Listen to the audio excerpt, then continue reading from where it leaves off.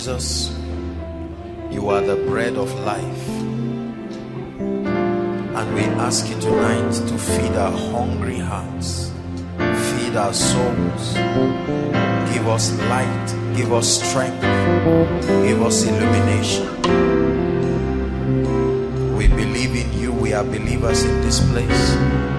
You have gathered your people tonight to bless them. Lord, we declare that we will truly be blessed in the name of Jesus. Amen and amen. God bless you. Please greet someone by your left and right. And please, you may be seated. Especially welcome all those following us online. There are a little over a hundred thousand people following us from around the world. We bless you. We honor you. Thank you for connecting with us in the name of Jesus Christ. For those of us who are here, inside and outside, the Lord bless you, the Lord honor you. It's a privilege to be here again, bringing God's word. Amen. Tonight, my heart is inditing a good matter.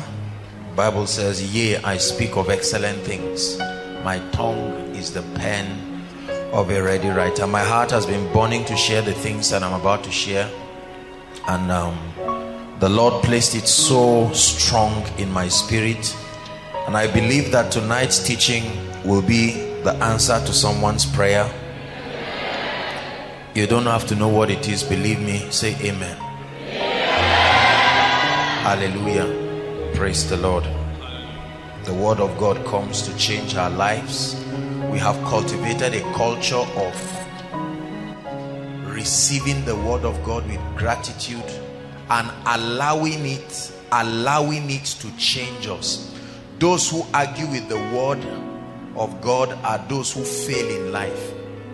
Praise the word. The bible says forever o lord thy word is settled. It never said in your life it is settled in heaven that's why heaven is the way it is. When you now allow his will to be done in your life, the same way it is in the heavens, then the word will be settled in your life. When the word of God is settled in your life, your life will change like day and night. I keep telling us week after week that we are on a project. God is taking us somewhere. Hallelujah. Many years from now, you will turn back and you will thank me. You will say, Thank you for having this. Those who think we are wasting our time trusting God are in for a shock. Because the Bible says darkness shall cover the earth. It's a prophecy, it's not a discussion. And gross darkness the people. Hallelujah. Praise the Lord. Um, tonight's teaching is a response. First, an instruction from God, but then a response to um, quite a number of things that, um, or a number of issues that I've seen with people, families, individuals. You know, God has given me the privilege of talking and counseling people. An average day is a very busy day for me because you have different things to respond to, ranging from financial issues, marital issues, destiny issues, career issues, health issues, demonic oppression. And um, it gives me a privilege as I talk to people every time because it's an opportunity to learn and see firsthand the practicality of God's word. I have families to comfort them over bereavement and at the same time you are celebrating the birth of someone new are we together now? You are watching how disobedience is punishing another and you are celebrating the joy of obedience. So you are in between um, experiencing the revelation and the reality of the word of God and seeing the grave consequences that comes when we define our own idea about life. I choose to submit to the ways of God in the name of Jesus Christ. So I've had a lot of issues and um, the Lord just gave me a release to really, really discuss it tonight. Please, I want everybody, open your eyes, your spirit. Everyone will be blessed tonight in the name of Jesus Christ. There are two issues I want to start with. Really, I, I, I just um, felt like starting out um, you can call it the part A on a little note since um, Valentine is on Monday or Tuesday. Tuesday. I just thought to start from that angle and then just to contribute something, not necessarily out of pressure, but I think that is useful. I'm a visionary leader by the grace of God, and it's important to respond to people according to seasons. He said, I will give you pastors after my own heart, and they shall feed you with wisdom and understanding. Hallelujah. There, there is, I have seen two evils that I believe, if not corrected, will destroy a lot of people. Just as an introduction, that's not necessarily where I'm dwelling, but just to connect with it. There, there is a growing fear that I've seen, especially among ladies, not necessarily koinonia ladies. Um, as I talk with ladies, as I talk with women, I I'm a bit concerned at the growing fear as it regards family life, most especially the fear of disappointment, the fear of expectations not coming to pass. Then on the other side of the pendulum, I have seen a growing sense of frustration among men, especially young men. Are we together now? So there is on one side fear, the fear that many ladies may never enter into their desired destinies. Fears ranging from the the projections of late marriage, fear ranging from not finding a man that represents God God's ideal standard. So there's there's a lot of fear. It's like the average lady is afraid even those who are married are afraid. So it's a very interesting situation. Then on the other hand, you have men who are frustrated. I have seen brothers, some in Koinonia and some around that have been able to see. You know, there's something frustrating when you've done your best and it still doesn't work. You know that state. There are people who are standing and say, look, I don't know what the key is, but I have to find this thing. It's not working. So I see a lot of frustrated people. People call me Apostle, do you know my wife just gave birth? And let me confess, things are bad. Bad. Nigeria is bad. My life is bad. My boss is bad. And I just cried before God and I thought that it was very important to respond to this. There are so many people who are afraid of getting into relationships, afraid of getting married. So much. And so God will help us in the name of Jesus. Ladies, I want to talk to you first. Pay very close attention. I really want to talk to you from the depth of my heart. If anyone is distracting you this night, just know that that person is really an enemy of your destiny. There is a reality we have to come to terms with. Look at me, please. And I'm very serious. I know there will be a lot of laughing, but just laugh and let your spirit be here. Praise God the 21st century living please pay attention living in the 21st century alone is a challenge all by itself. Are you getting what i'm saying now? Just being alive. I know that we have taught and people have said it that we're the most fortunate generation. I believe that. But at the same time there has been no time in human history i tell you where living has come with cycles of challenges like our generation. Just being alive alone is a challenge by default. Are we together now? This is very, very important. And that means there must be an updated redefinition of concepts. Listen to me. Ideas, redefinition of paradigms and strategies as regards living as regards family life not necessarily a veering off of God's standard but a redefinition of our approach Are you getting what I'm saying now? What you call a man in the 21st century is very different from what was understood by a man in 1960s and 70s. Is that correct? Yeah. So if we do not adjust to these redefinitions of concepts and ideas to be able to stand the times that are coming, there will be big disasters in Christian homes, although born again, although tongue talking, and many lies. We are going to raise all kinds of children who will be hooligans and a nuisance to society. I have observed personally now and if there are we, we have a number of children here some very small some maybe in their teenage but i have observed with shock most young people from within the ages of let's say 19 down to 13 that generation has been violently captured by the devil that 19 to 13 i don't know what happened to that generation of young people but there is a disaster they are their outspoken rebellion against the things of God is beginning to reproduce the pattern of the American church. Are we together? Yeah.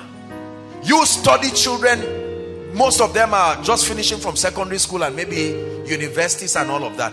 Their outspoken rebellion against the life of God, the ways of God, they are really the technological generation. That, that teenage and if there is no redefinition of concepts and ideas, there will be a very serious challenge. The average Christian parent does not even know how the concept of parenting because it has changed. Back in the olden days, the parents were the principal instructors of a child. But right now, the average child has many teachers. Are we together? The school teachers are just one. The parents are even the least. There are many other things. There's Facebook to teach. There's YouTube to teach. Are we together? Gone are the days where you can you can off a television and say sit down and read your book. You off a television, he switches it on on his device. Think about that. The advancement in technology is a double-edged sword It's made certain destinies and created potentials for the destruction of others. So I, I really would want to talk to us. Um, ladies, let me start with you. There are certain things, sisters, I love you and I'm speaking to you from the depth of my heart. If you listen to me, you will be saved. If you are stubborn and you don't listen, I guarantee you, you would have defined a path that will lead to tears. Are we together now? Say amen. Sisters here doesn't mean people who, maybe ladies who are not yet married, it, just anybody, really. There are certain things a lady must find in a man, otherwise, don't marry him. Write it down. I've upgraded my curriculum on this. You will, you will be interested to hear the things I'm going to tell you now. A thorough upgrade. Just four things. I've summarized every cry of every sister to four things whether you know it or not just believe me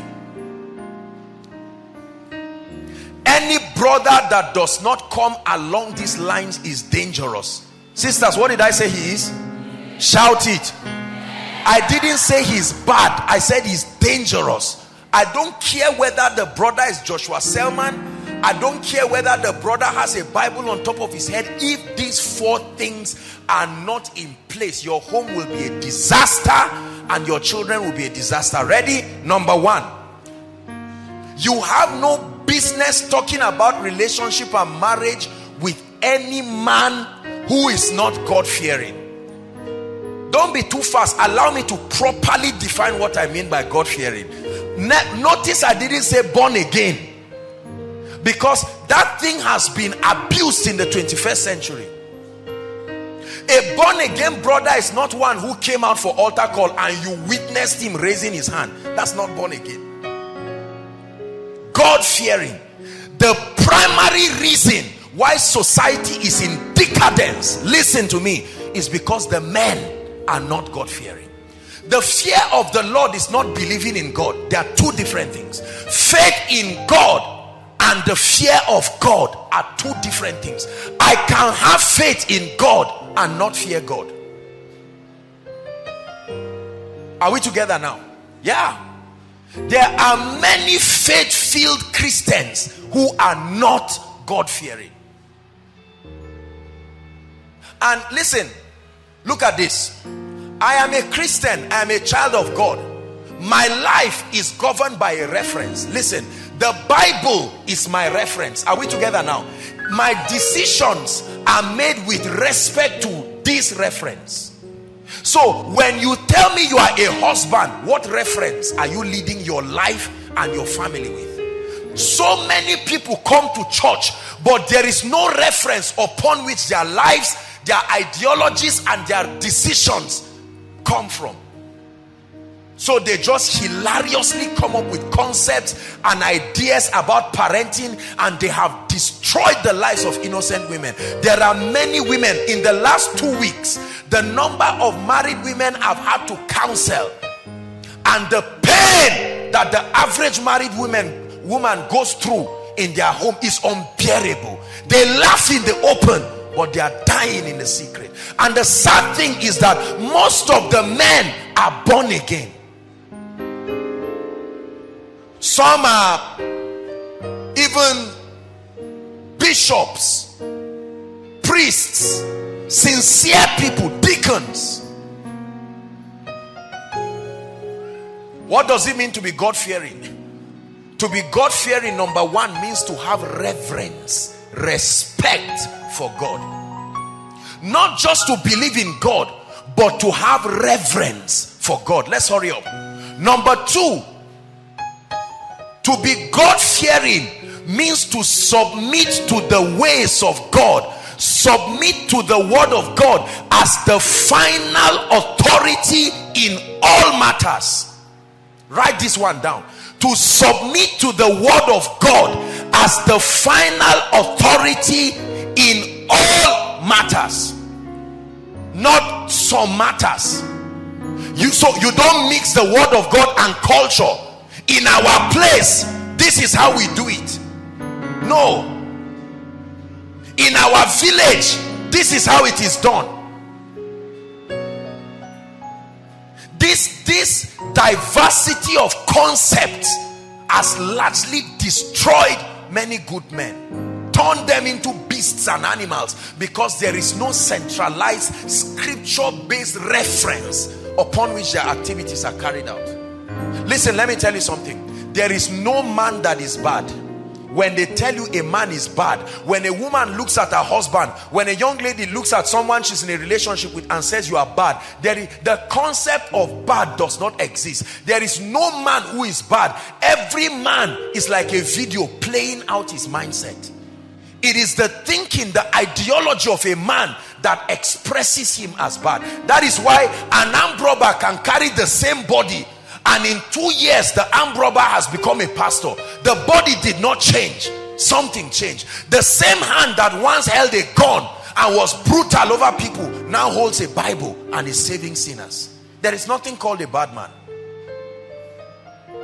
I've interacted with some people who are supposedly bad. Some of them old enough to be my parents and i've discovered that intrinsically every man is good. Their approach was wrong and so their life became a script playing out. Some of you are looking at me now brothers. As sincere as you are you are about to replay the same script if you don't change.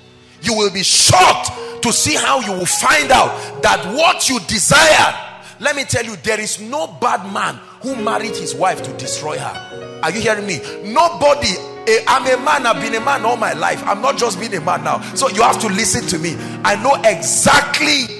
Men are not bad people. But there are concepts that have turned men into beasts. Are we together? God-fearing person. The word of god. I always give this analogy when i'm counseling people. Listen. If wife come if watch this this is my wife and I want the television to be here. Everybody look up. This is a television now. I want the TV to be here. And my wife says, my husband, this TV has to be there. There is a conflict of ideas. Now, to be God-fearing means both of us must have the unashamedness, or at least I, to say what does the word of God say about TV is the word of God says there should be no TV what happens to my will? I fold my will to let the will of God prevail. There is no family that will suffer when the man can accept the will of God. The problem is usually the will of the man. And I look at her and say what part of your dowry didn't I pay? You talk to me I will slap you. Forget that I'm a man of God. I'm a man it's just that I'm of God. You talk to me I will slap you. Are we together and you know, men were very arrogant people. We can be entering hellfire and claim that it's AC. We are, and drag people in trouble until we get in there. And then we say, well, I, I did not exactly understand. The configuration of a man is such that we have a lot to protect. That's why submitting to the ways of God is very hard. That's why in most crusades, women are more the men don't come. They would rather watch from the television and kneel down and receive the same miracle. But to come and be healed, they feel is an insult. I am a director of A and B and C. But tonight I pray that God will raise men who can submit. I love the song the worship team sang.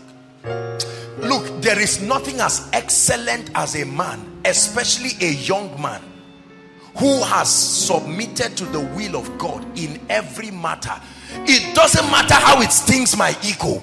Once the word of God contradicts my concept I bend. I don't look for an explanation. No sir. It is being God-fearing that will make you never to carry your hand and beat your wife. You are angry but what did the Bible say about wives? It said treat them as unto weaker vessels so when you slap your wife and you are boiling you are not just a stupid man you are not submitting to the ways of God. When you love your wife just because she made a nice hair and say hey, hey, now you are talking. You are you are carnal number one. That is not even true love. Because the bible says husbands love their wives as christ loved the church. So the thing is to study how christ loved the church. He said while we were yet sinners undeserving unqualified in due season christ loved us so when a man has to punish his wife to earn his love by dressing well, I'm not against good dressing. I'm not against looking well. I'm not against all of these things. But if you force your, your wife to have to succumb to those things, the day she sees another woman who has those things much more than her, she becomes insecure because she knows how unpredictable your love is. The fear of the Lord. Many men do not fear God. Principles of parenting. Do you know that there are families and there are cultures for instance that teach that a man can beat his wife at least once or twice so that when he beats her she will know that this is not a stupid is not a sissy i mean it's it's a show of masculinity. I senior you in age in strength in whatever it is in salary and you joke with me i beat you once then i ask you for forgiveness. I'm forgiving you you are forgiving me but the memory of what happened will keep you in place. That has worked for a lot of people but i hate it. Not i don't care whether it works or not. It's not consistent with the word of god. The word of god is not about what works or not. It's about what god says if I apply the word of God and it does not work, I will still remain there. Not because of the result it produces, but because that's what came out of the mouth of God. That's what it means to be an ardent follower of the word. Sisters, are you listening? Unfortunately, now we we live in a generation where and please don't don't find this insulting many of our sisters some of you are here looking at me now you are so gullible. Just anybody just comes wherever he has small money small whatever you are praying in tongues yet you are not allowing what you are praying to inform the decisions. I am shocked when some ladies bring some brothers to me and say i like him i want to say where did you keep your brain? I taught you so many things. Look at the kind of person you are dragging. Completely antichrist in his approach. Why do you love him? He loves me. Is he a christian? I, uh, he's a nice he comes around. Listen let me tell you something another wife uh, well just for this example you are not permitted to marry another wife listen watch this everyone Do you know the only thing you cannot change in your life is God and your wife and children? You are supposed to change your cloth after some time. You are permitted. As lovely as this cloth I'm wearing is, after a few months it will fade and I'll throw it away and sew another one. So it's amazing how you can love something now and hate it. But the Bible says you are staying with that woman. So there's no, you can't change her like a cloth. Meaning you must find out from God what he must put in you and her to make her remain fresh. If you change clothes, change phone, change car, and yet the Bible says you cannot change your wife, you must find out, Lord, and the woman is growing old. So it means you must do something to me that is beyond the physical to keep me faithful. I told you tonight my heart is, is inditing a good matter. We're just warming the plane. We must reach that altitude this night. In the name of Jesus Christ. God fearing. Sisters, I want you to bond this revelation. The first thing to look at in a man is not the car he brought. Hello? Say hi. Hello? Because some of you, if we don't press you like this, you know, I've discovered in church that many people don't listen. As you are talking like this, they are looking at you. They are even writing. But their hearts are already made up. No, sir. I'm saving you trouble. You will thank me for it. Not everything that glitters is gold. And don't let anyone pressure you, whether parents or friend, and say, after all, what is there? He can take care of us. What is your idea of care? Buy you things? Are we together? A God-fearing man. A man, he doesn't have to be a pastor. Uh-uh. God fearing has nothing to do with a pastor. God fearing has nothing to do with praying eight hours. A man can pray eight hours and not be God fearing. I told you there is a difference between believing God and having a reverence for God. Are you hearing what I'm saying now? Hmm. The fear of God, submitting to the authority of the word, submitting to the authority of the word. So you may be Igbo, you may be Hausa, you may be Yoruba, you may be Kaduna State, whatever, Northern, you may be from another nation of the world. It does not matter.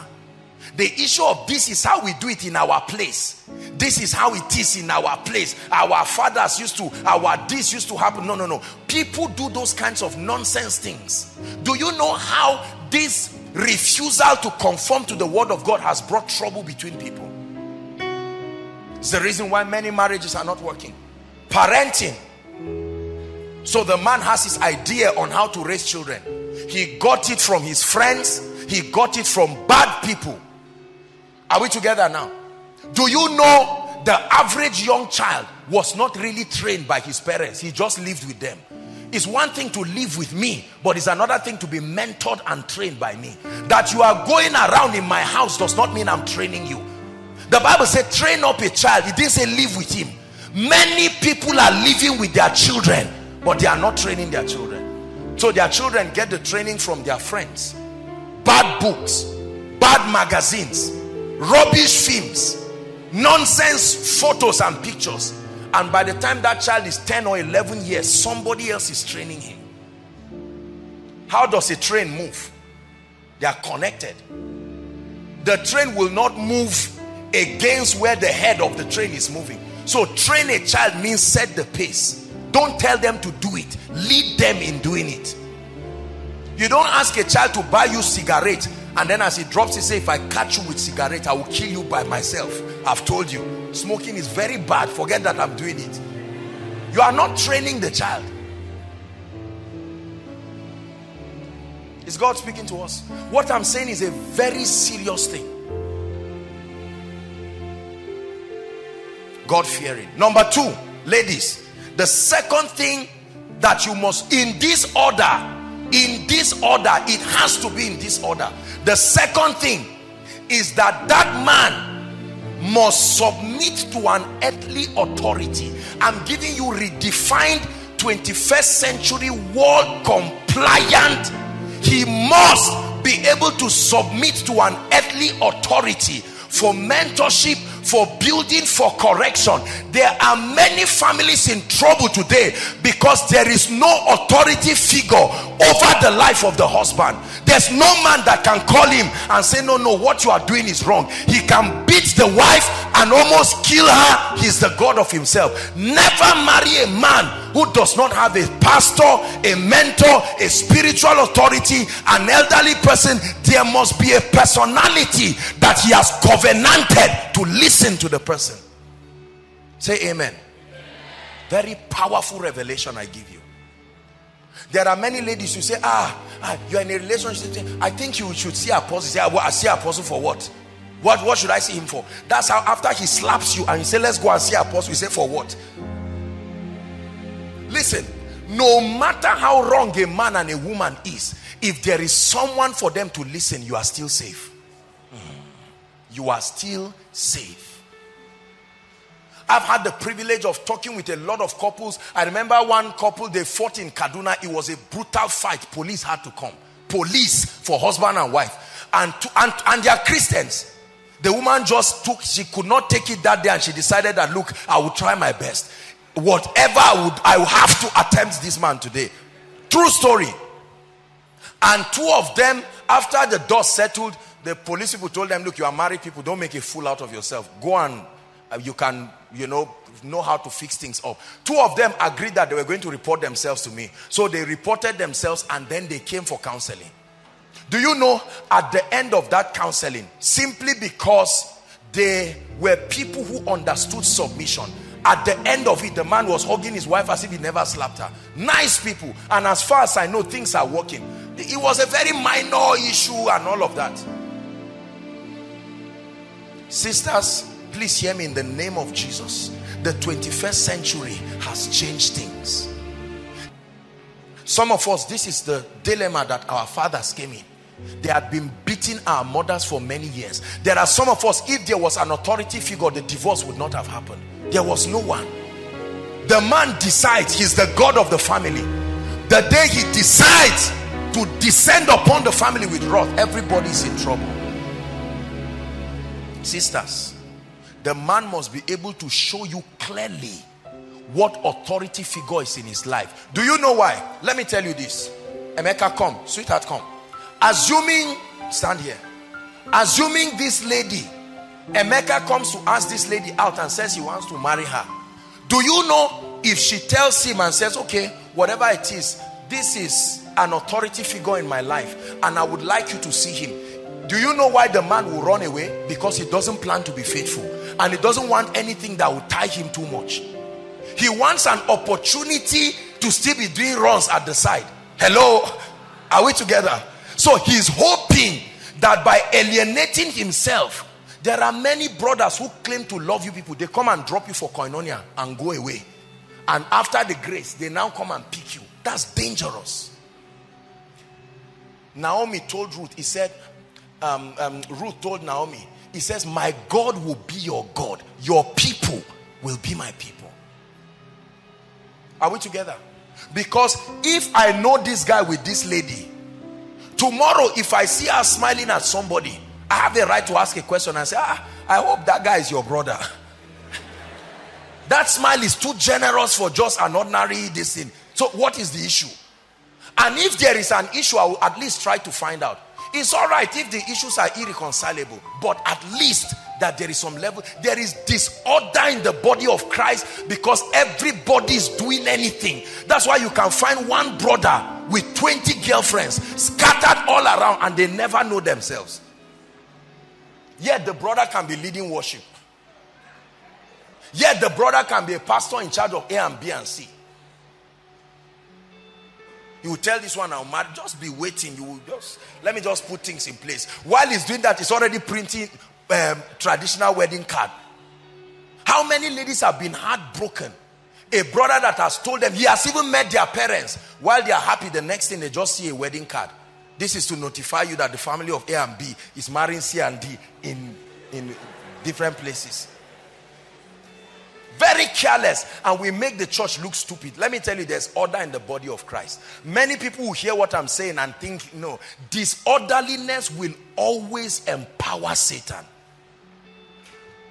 Disorderliness of any sort will always empower Satan. The Bible says, let all things be done decently and in order. Bless you. Bless you. Number three, very quickly. Are you getting blessed? So sisters, the first thing you should look at in a man, and if you are married and your husband doesn't have this, begin to labor in the place of prayer. Labor generously in the place of prayer. Lord, turn the heart of this man. He must be God-fearing. I've married, the deed has been done. But Lord, you can still step in. You are the God of the second chance. Step in. I will never allow my daughter to marry anybody that is not God-fearing. Bring a jeep, bring a plane, carry hamper for me. That, that all that one is your cup of tea. If you are not God-fearing, the first question I'll ask you is not what you studied or where you have a job. Are you right with God? And you know that you will not just tell me yes. I'll say that's all right. Let's go to the next question. No, no, no, no, no. We'll stay there and press it. Right with God means what? Yeah. Right with God means what? You don't just say, I'm right with God. Are, are you a member of what? I'm a member of Living Faith. Okay, that's all right. No, no. I can, in five minutes through your words, I can know you are just a church goer. You don't fear God.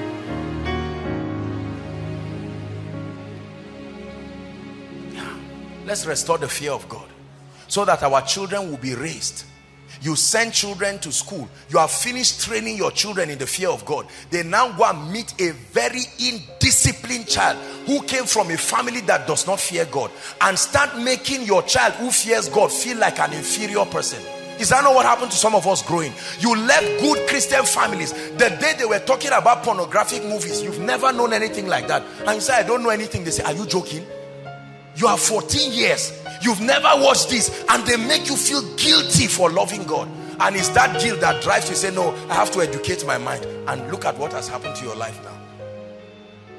You are God alone from before time began.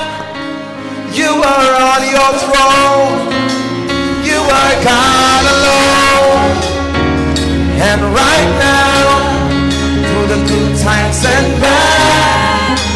You are on your throne. You are God alone. Be determined to correct the mistakes of your parents with your life. You have insulted your father, you have insulted your mother. It's now your chance.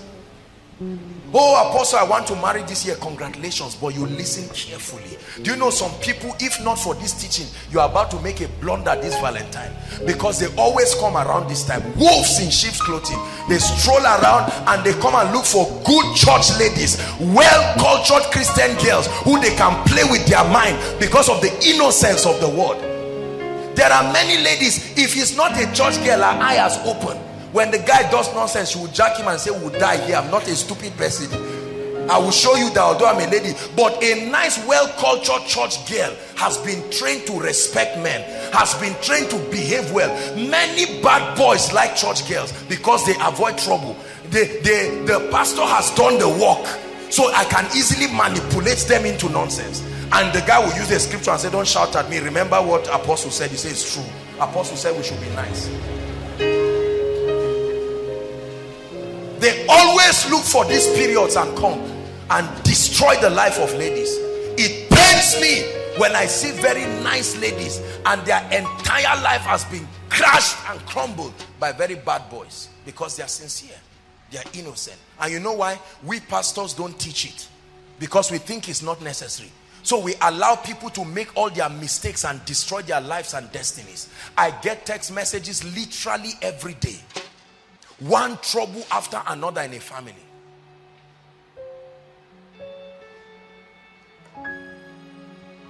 Please, ladies, listen to me very carefully. God-fearing, submission to an earthly authority.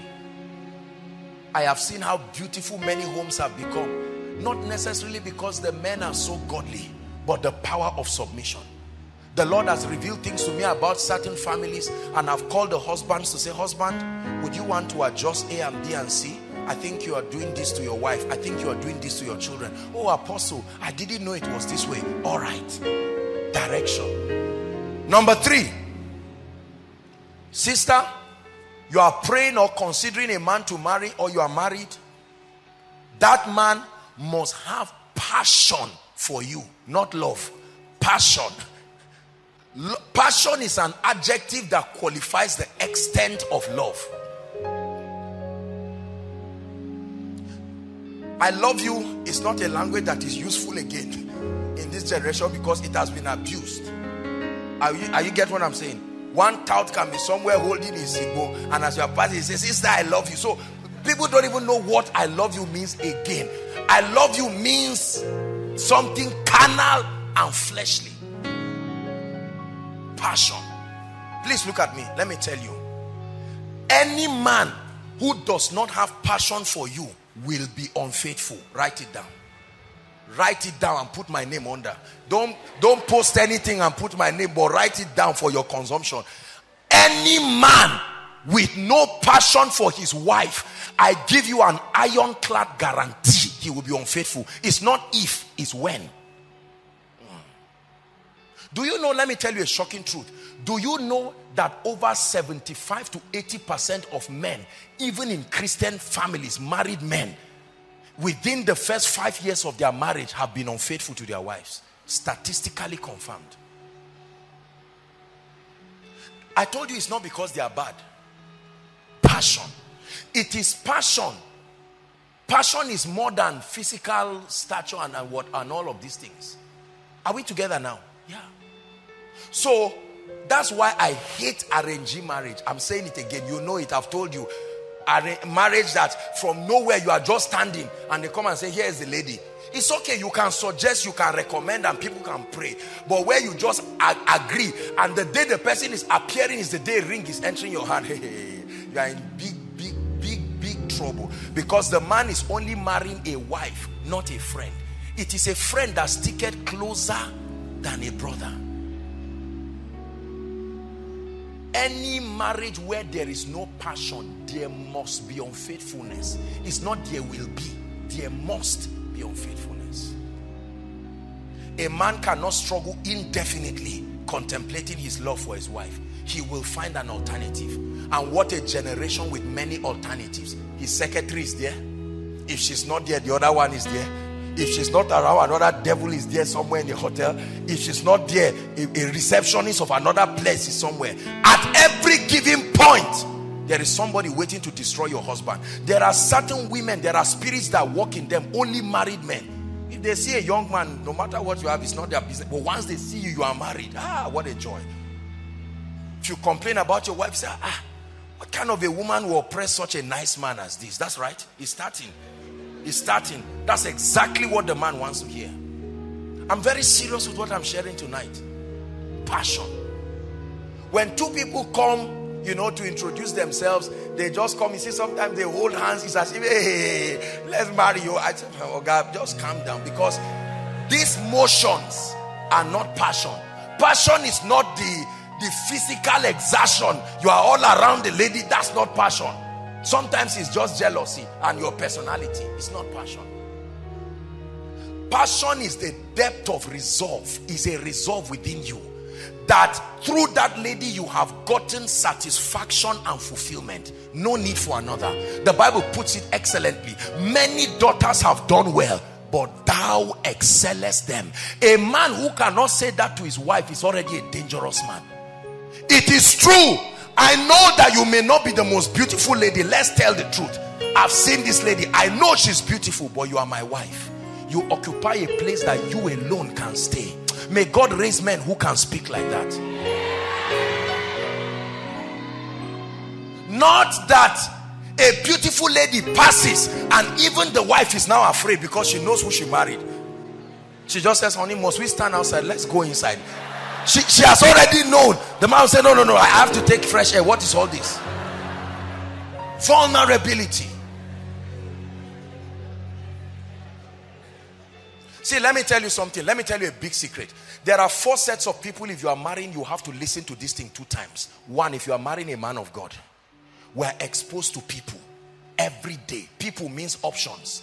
Are you hearing what I'm saying? Number two, a high profile businessman. Number three, a politician. Are you hearing what I'm saying now? Number four, a lecturer. Anybody in the academia. If you are married to any of these four people, listen with both ears and add your spirit in it because he is exposed. As I'm standing here preaching, there are all kinds of pretty ladies. You are not seeing me, but I'm seeing you. Are we together?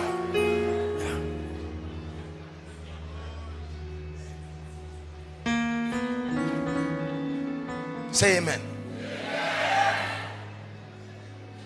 So, when you are not careful, you will be surprised that your husband has four children. You never knew. One day somebody just knocks your house and say, I must look for my father. Say, what is going on here? Spiritual father. And you see a carbon copy of your child. Look, look, look. Don't think I'm just talking. There are many children scattered around. They belong to your family. It's just that you don't know. The day Jesus will come, let's just leave him to be the judge. Amen. Please let me have our attention. Very serious issues. Have you not seen families? Some of you come from those families. After 20 years, one day they'll call a meeting and say, honestly, well, there, are, there are so many, there are complications around. You don't know who is your real mother. You don't know who is your real father. You really don't know how many you are in your family. You just know what they told you. As you grow, you keep learning more. You thought you were seven. Now you have discovered you are ten. And eventually, the children will say they are coming. When the father now dies, that's when you know there's trouble. Because the family with the legitimate wife are all girls. And the ones they gave birth to somewhere are boys. The moment the father dies, they now show up and say, No way, our father is our father. And in our culture, women don't inherit anything. Therefore, they displace people. I've counseled cases like that. Are we together? Very important. Passion. Please, my brother, if you find out it is okay, listen, it is very okay to see a lady and just be fond of her. The mystery of attraction is when you find a lady or a person or an object demonstrating many things you perceive to represent value to you. So if beauty represents value, it's impossible to see a pretty girl and pretend it's not being spiritual. Look, look, very well. They ask you why. I say because I'm a Christian. You are not lying. So looking, it's not all those fake things to pretend you. A pretty lady passes there. I didn't see it. No, you saw. You saw. It's just that you have self-control. Are we together? Passion.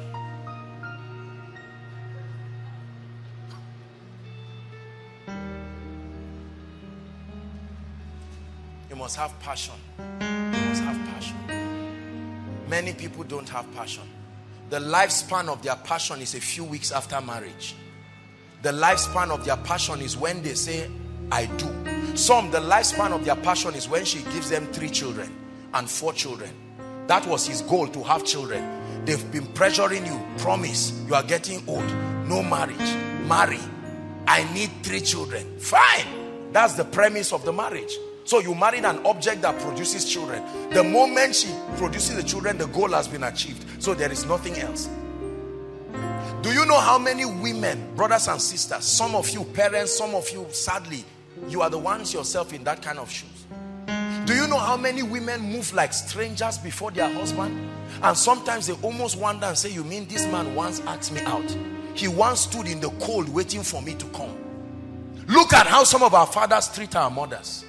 It's a mess. And they have mentored us to do the same. If God does not intercept, believe me, you will reproduce the same result. Many daughters have done well, but thou excellest them all. There is an appetite for discontentment in the body of Christ. Brothers, let me encourage you. Please be careful. And, and, and sisters too. I've not come to brothers yet. I'm talking about sisters. But it's a quality for brothers. Passion Whenever you see that you are attracted to a lady, it's not enough reason to go and ask them out. That's lack of self-control. Are we together? It is okay that I look at this lady and I'm attracted to her. It's okay. But self-control. That's what they say in a multitude of many counsel, there is safety. Some, the moment you see a lady and she's fine, there and then, even if it's during a prayer session, in the heat of prayer, say, please, can you see me after after prayer.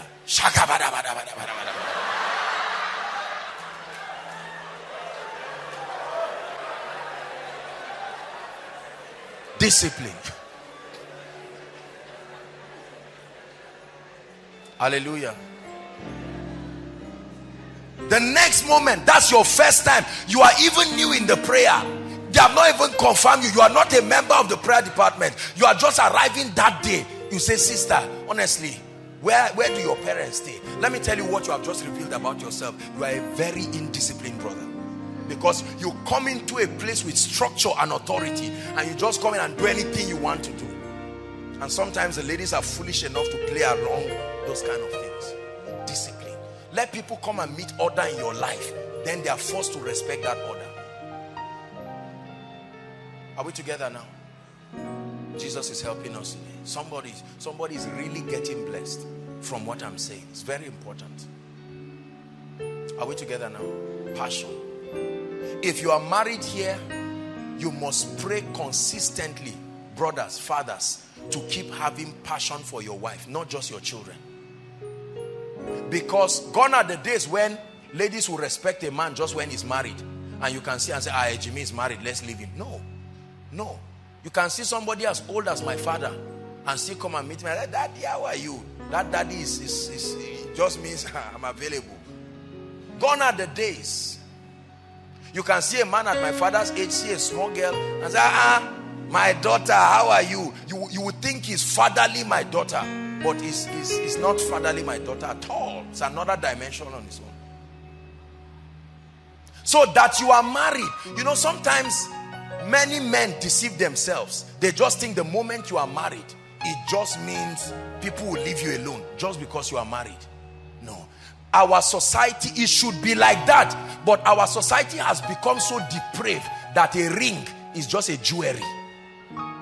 A ring is just a jewelry for entertainment. Are you hearing what I'm saying now? It's something that symbolizes a covenant relationship. It's, entertainment. So when you wear a ring and say they see a ring, they'll mind themselves. It's a joke. It's a big joke. Wear two. It won't change anything. Thank you, my dear. Love and passion. Love and passion. And then the last key, ladies, I will dwell a bit here today. Never marry a man who is irresponsible. That's the last point. There must be a demonstration of responsibility. Responsibility. Responsibility. Many brothers are irresponsible. Christian brothers inclusive. Irresponsible. Tongue-talking Christian brothers What does it mean to be responsible? To be responsible means it means to be aware of the cost dimension of life. Taking cognizance of the cost dimension of life. I don't mean money. That anything to be done must be done by someone. The Bible says every house is built by some man, but God is the builder of all. An irresponsible person says, uh-uh, they have not done it. A responsible person says, can we do it? Are you seeing that now? Let me tell you something. Please look up. There is a tragedy that has happened in Nigeria, especially to Nigerian young men. Please listen. If you can hear what I'm saying, it will save you. Many gentlemen around the world have been victims of this and some of them seated here looking at me i want you to listen very carefully do you know many young men have been over pampered and that's why they are irresponsible today over pampering does not mean they came from a rich family a poor family can still over pamper a man let me tell you how they over pampered them a young man is 18 years the moment he's washing his clothes you say ah is there not house help wash for him because we have washing machine in our house a young man who is supposed to start learning to be responsible. Are we together now? He goes out and by four o'clock you are ringing his phone. Return home. Return home. It looks like you are trying to be disciplinary. There is an age range where he needs to be home. But there is an age range where that guy is submissive. Maybe he's in church as a choir director and you are now calling a matured boy of 19 years old. It's 5 o'clock. Where are you? Come home so the guy is now 25 and he stays home. He married with his wife and stays home just like mommy said, obedient child. Nobody goes out to get food again because he has been trained. Come home. In America, from 12 years, 12 years old in America, you see children looking for something to do. Post office. Ah, there, there's no chair for us. They always expect to be recipients, not contributors. It's not your fault. That's why I'm helping you tonight. Many brothers are like that. They are born again. They love God. But anything that discomforts them a little, uh-uh, they don't want it. It's irresponsibility that produces laziness. Laziness. Get up and do something. You have a meeting for five o'clock. It's raining heavily. I say, Kai, oh, quarter to five, please uh, Benga, I can't make it for the meeting. I'm tired. This rain, the cold is too much. That's a lazy man who will not feed his family. You see that? He will not feed his family because he will say there's crisis in Nigeria. They can kill people if they go outside and he will leave his family members to die. The Bible says a lazy man will not sow because of the cold and he will also not reap. I am a fanatic of responsibility. Responsibility you cannot be around me and not be a responsible person. Waiting for things to be done for you. No, sir. You must learn to be an initiator, not just a recipient. There are many men today, the salary comes from their wives. Correct? It's okay if there is a situation that happened in, in the course of the marriage and the woman has to be supporting. You see somebody from 1996, no job. Is the wife that works pays the children's school fees and the man is alive two hands two legs he gets up in the morning sits at the veranda of the house they are playing draft together with other colleagues irresponsible men who come they form a team and they just play. Where's your wife? Uh, you know she's a nurse. She works in the hospital. You know women she will come in the evening. The woman will return there is no food. She will come and be cooking. And the, the male figure in that family is learning. He doesn't like it but his ideology is being shaped after the example he's seeing. There are too many irresponsible people. There are irresponsible pastors who expect members to be the one to raise money for church. Have you seen people like that? There are irresponsible pastors who expect members to be the ones to give them money. Am I not your pastor? Buy a car for me. Build a house for me. Marry for me. That's an irresponsible man of God. He's a man of God, but an irresponsible one.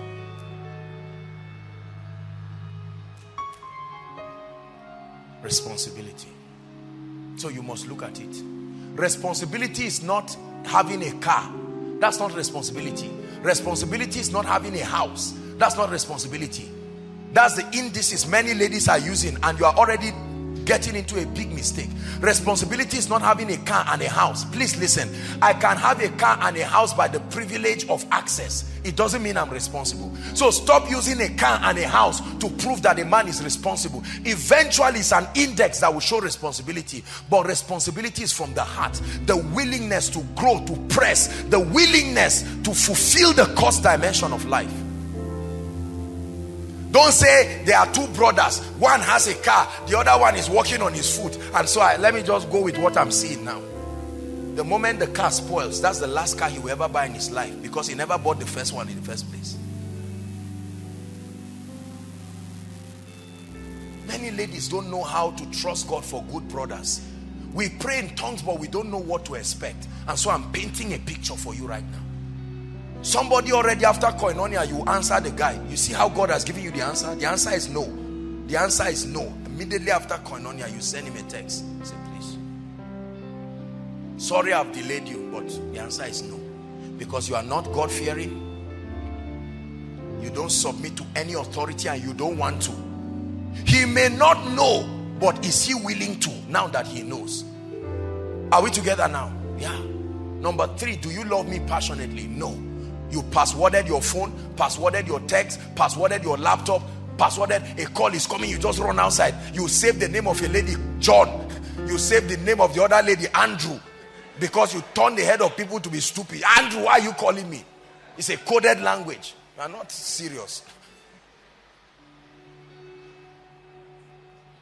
Hallelujah. And finally, the man is not responsible. The average African family has a, has a family to take care of, a nuclear family first. I hope you are aware. Brothers, are you aware? Be aware now that The average African family, there is every likelihood your wife is not the last born.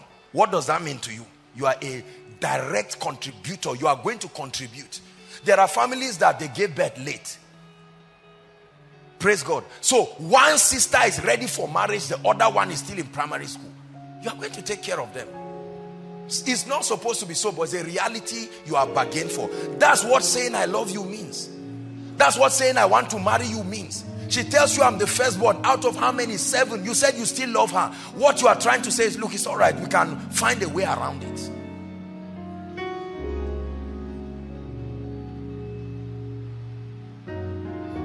Brothers, let me say your own quickly.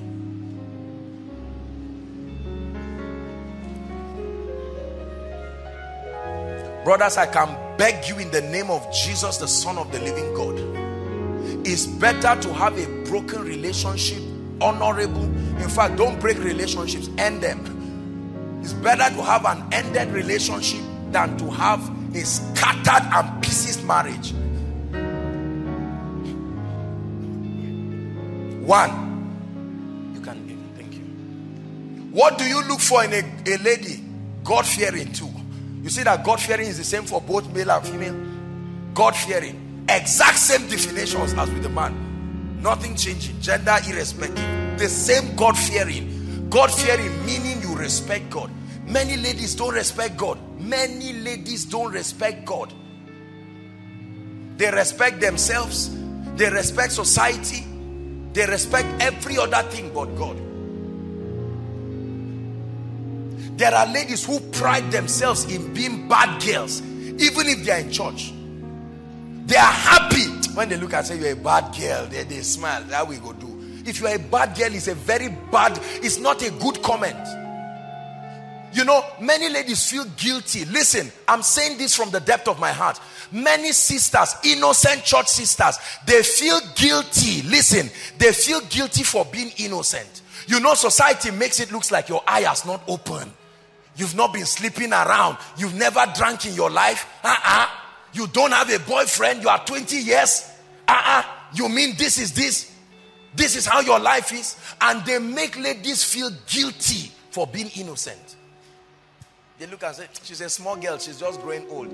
Come to us. We, we, we have our legs. Are, you see, you are happy for being bad. It's a different thing if it's your past. Jesus has helped you now.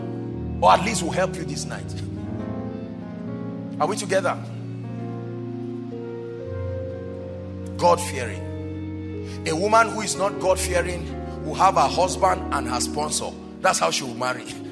There is a husband and a sponsor. What is the sponsor for? Rainy days. What's the husband for? Every other thing.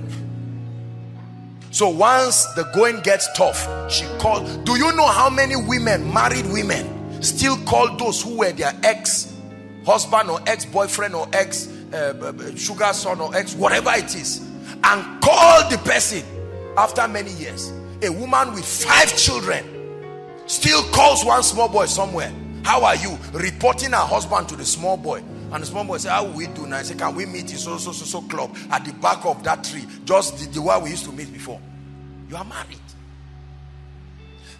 the the average lady still has affiliations with her past relationships, even in her marital home. I will say it, oh. My name is Joshua Selman. The average lady still has affiliations. I tell you this. You know I'm not lying. Some of you, as you are looking at me, you know it's true. Although you may be married, but you still call John. And it's not just brotherly, how are you? Is the family okay? No, John, I need help. You have to help me this my husband, you know, he's a stupid man, John. I say, as it is always, you, you know, we know ourselves. I say, no problem, John. Can you do the transfer now?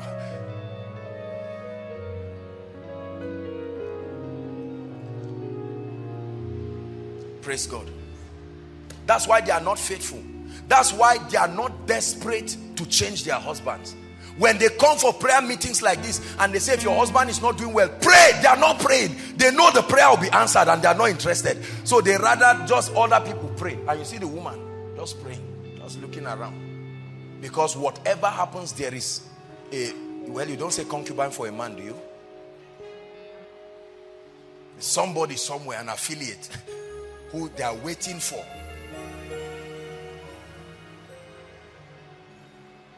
Number two, brothers, what should you look at in a woman? A woman who is submissive to the man at all times. Submissive to the man on the line at all times. I don't have a problem with submission, but when? At all times, convenient or not. Submission has never been a choice. Write it down. That's your own part. Oh, apostle, you don't know how foolish my husband is. Don't worry, I'm coming. I've not finished. For now, just know your own role. Submit. Submission is a difficult thing. Listen, ladies, look at me. Let me tell you a big secret. Submission is a risk. It's a risk. You don't know the man too well, no matter how long you have been going out. Submission is a risk. When you marry, you will discover many other things you never knew. Submission is by faith and it's a risk. It's a risk. You've not seen what the man can do when he has money. You've not seen what the man can do when he doesn't have money. You've not seen what the man can do when his job is under pressure. You've not seen what he's done if he's promoted to become a CEO. Yet the Bible says submit. Submission is a risk. You need the Holy Spirit to do it. That's why you have your own part to make sure that the authority you submit to has been vetted thoroughly by God. Hallelujah. You must submit to the man at all times. When ladies refuse to submit to their husbands and they say he's not man enough, that's not what the Bible teaches. The Bible did not say submit to man enough men. Apostle is not, he's not providing anything. I'm the one bringing the money. I'm the one paying the school fees. I'm not stupid. I know be word compliant. You are, can only judge disobedience when your obedience is complete. There are many ladies who want the men. Listen, and sisters, please hear me. Most of us, this mindset came from our mothers and our, our parents generally. We must correct it. The idea that a man must prove he is capable, then I will now submit to him. Hey, you are a hypocrite. You are doing this exactly what his secretary is doing in the office. Who will not submit to a man who gives you food? If I buy you a plate of food, won't you greet me like this the next time? That's what you want your husband to do. There is a difference between your husband and other people. I know you don't like what I'm saying, but it's the Bible. Remember, we agreed that we are going to submit to God in all things. That's the Bible. Submission is hard. I never said it is easy. I never said it is easy. You will be a fool submitting. It's sad, but it's the truth. Because there are times it will not make sense. Your friends will look at you and say, You are stupid. Why are you doing this? Your husband does not deserve you. It's true. But the Bible says. That's why, for those of you who are not married and those of you who are not in a relationship, you should thank God. All this rush, I want to enter relationship, my blood is hot. You will thank God now for this message. Because the relationship you would have entered will be the beginning of disaster. No guidance. submit to the man at all times. And it starts from the relationship. It's not when you get married. No it starts from the relationship. I know submission is not foolishness but the Bible instructs it you see why mentorship is good. You see why I spoke about a spiritual authority. Because if you are playing your role well and the man is not doing his thing you have a right. That third party that has been authorized can come in and say no no no no no. Wife is doing her part well. And because the man submits to authority he will listen. If it's deliverance they will cast the demon out. If it's counseling they will manage his pressures at the moment but where you are submitting to a man who does not submit to God does not submit to authority you are in trouble. Big trouble. What is number three? Let's hurry up. What kind of woman should you marry brother? A woman who is sacrificial and hospitable. Third point. Sacrificial and hospitable in the 21st century you marry a woman who cannot sacrifice you have married disaster. There are many ladies who like who cannot inconvenience themselves for the growth of their homes. No. Hallelujah. The moment the man loses his job the wife changes. She can't love him again. There are many people I counsel, and it's, it's sad the way their wives treat them when things are not going well. Oh, he just bought a house. He just got promotion. My husband, my husband. They just blackmailed him. Oh. They said, ah, this and that happened. And they demoted him. She won't refuse, but you see the body language. Honey, why now? You know I don't like plantain. Please don't disturb me. In this house, when you bring money, we cook well. Subliminal statements. You have started communicating. It's a terrible thing. Please hear what I'm saying. The Lord is speaking very seriously. Never submit to a man because he has money or because he does not have money. The Bible never does that. The Bible never instructs that. So choose whether you want to marry or not. Thank God marriage is not compulsory. But if you want to do it God's way, you must submit. There is no excuse for rebellion. It's a terrible thing when women gather together with their friends. Now I know, I know, look, I understand that there are times that women sit down and talk to comfort themselves. But there are women who are perpetually in a habit, in a habit of sitting with groups. They travel to this state, there is a group, and they sit down and lambast their husbands. They talk all kinds of nonsense, reveal family secrets, bedroom secrets are, that are not for the consumption of the public and when they finish they come back and they expect all those women everywhere to respect the men. They will not. Your man your man had a challenge and maybe he had an affair with a lady. He has apologized. A man of god came in they managed the situation. It's only you and the pastor who has managed the situation. You now carried your mouth. You have run it from east to west from uk to london. Everybody knows your husband once had a challenge and one day they look at him and the day he annoys the person who knows that secret the person will go and publish something. In 1971 you see them do it in america. When god is about to bless somebody somebody will just come crying on tv and say look i remember what you did to me. These are that. Because we don't keep quiet. The bible says even a fool when he's silent is regarded wise. The bible tells every woman to cover her head there is a dimension of physical covering but there is a dimension of spiritual covering. Cover your head. The head over your life. Protect him. Protect him. He's vulnerable. Protect him.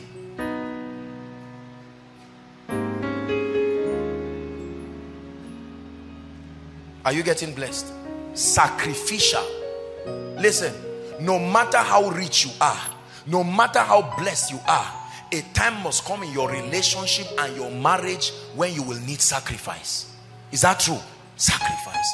There may be times when God can give an instruction promise sow that three bedroom flat that you have built and go to a rented apartment.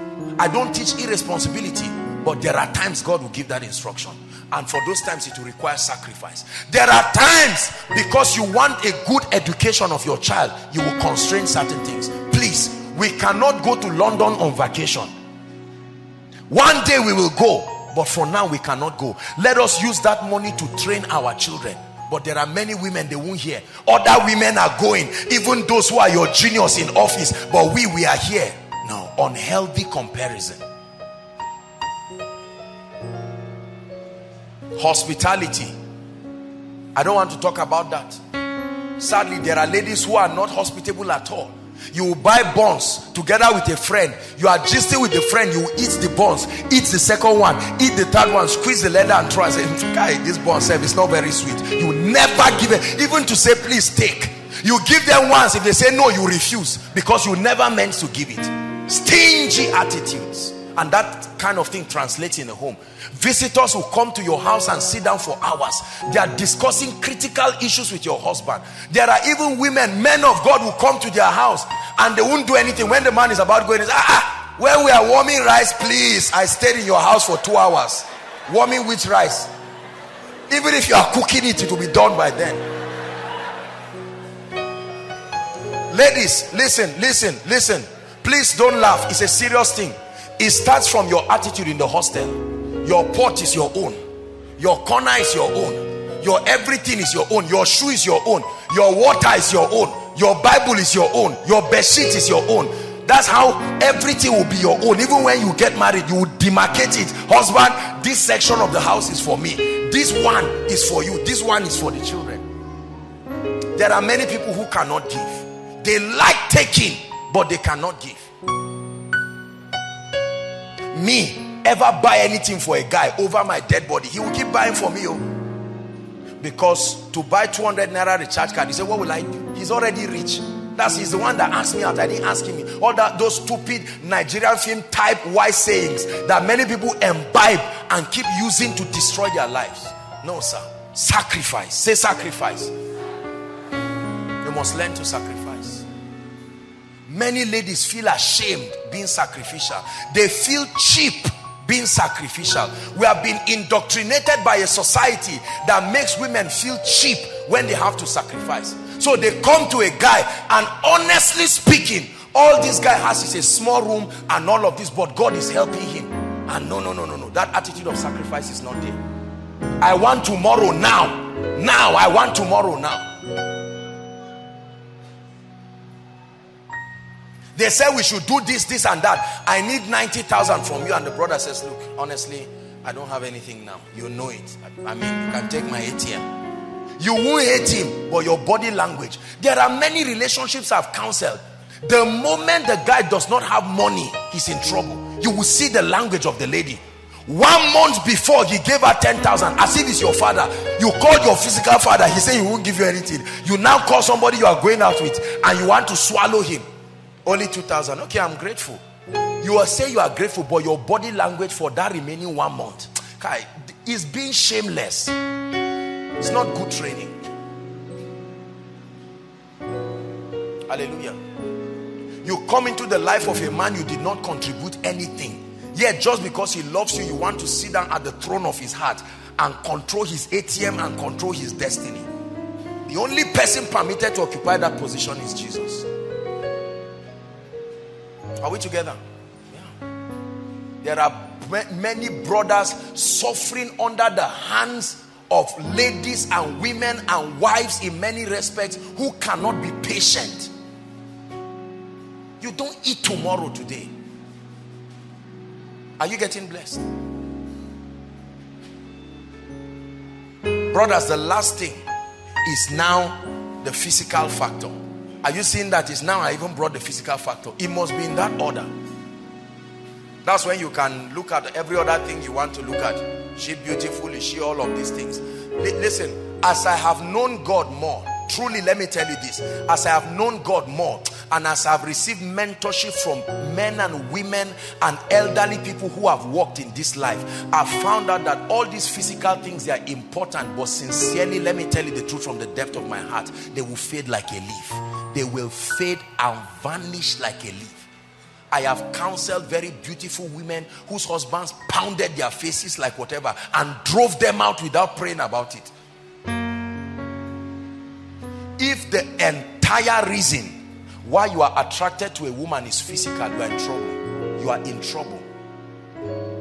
I was in Jos when I went to see my parents at, at the beginning of this year. I happened to go and visit um, one man, he used to be my principal, and that was the advice he gave me before he knelt down and, and, and, and I'll pray for him. Brothers and sisters, let me tell you one truth. Be careful. I'm not saying physical things are not important, but when your concentration on physical beauty or attraction or looks or physique or shape or whatever it is supersedes the fear of God. Are we together now? Supersedes, what's the second one? Submission to the man supersedes whatever. You've heard me say it again. You just come and meet a lady. There are serious issues. Maybe in a family of 10 and all of them are non-Christians. You know what I mean? And she's the only Christian. She's saying, sorry, oh, this is the family you are going to. You didn't settle down to pray. You say, no problem. You are too fine for me to let you go. You are in trouble. My mother is a witch. It's okay. I love you like that. I, me, I'm telling you, she's a traditional. I know. Don't, don't worry. There's koinonia there's miracle service. And people get a lot of casualties. Sorry, man of um, my brother, I need to tell you something. I was born with some kind of deficiency. Honestly, I'm physically not able to take in. I can't have a child. That's a little what is children. Most important is love for you. You now drive yourself and get married. After two years, you want to kill her as if she didn't tell you. You see it. Please spiritualize, spiritualize your process of getting a wife. Don't be carnal. Don't sit with brothers and say, "Have you looked at this one? What do you? What can you say?" It depends on who you are talking to. If you are talking, if you are talking to a brother who is not born again, you are in trouble. He will give you the counsel of Ahithophel, and after two years, you will be surprised to see that beauty can fade. Say Amen. God fearing, submissive at all times, sacrificial hospitable. Let me talk about responsibility for a while and then maybe for a few minutes and then we'll pray. Write it down. First Timothy chapter 5 verse 8. Please give us First Timothy 5 verse 8 quickly. Brothers, I want to talk to you now. I want to talk to everybody, but specifically to the men. Responsible men in our society. First Timothy chapter 5 verse 8. Is that possible? If that's not possible, I would look for it. Go ahead and read it. It's projected inside, outside. One, to read. Uh-huh. Hold on. This is a big revelation. Stop there. The Bible says provide for his own. His own talks of relative and everybody connected. Then it says, but especially, meaning first and foremost, what's your first responsibility? The Bible never said love your neighbor as yourself. There are people who sit down and their wives are suffering and they are donating cars and buses to churches whereas they cannot pay their children's school fees. It's an irresponsible life. The Bible says, especially to those of his own house. He said he had denied what? The faith. And is worse than an infidel. Write this down. What is responsibility? Responsibility is a burden of obligation over someone or something. Responsibility is a burden of obligation over someone or something. Number two, quickly. Responsibility is an awareness of consequences. An awareness of consequences. That if you do this there is a consequence. If you do not do this there is a consequence. Responsibility is an awareness of consequence. I identified a few reasons here where people are why people are generally not responsible let me talk about them for a few minutes number one the reason why many people are not responsible and while they may never succeed is their indecision over their success and establishment. The reason why many brothers, many sisters, but brothers especially, may never get established is indecision. There is a difference between a wish and a decision. I want to eat rice, that's a wish.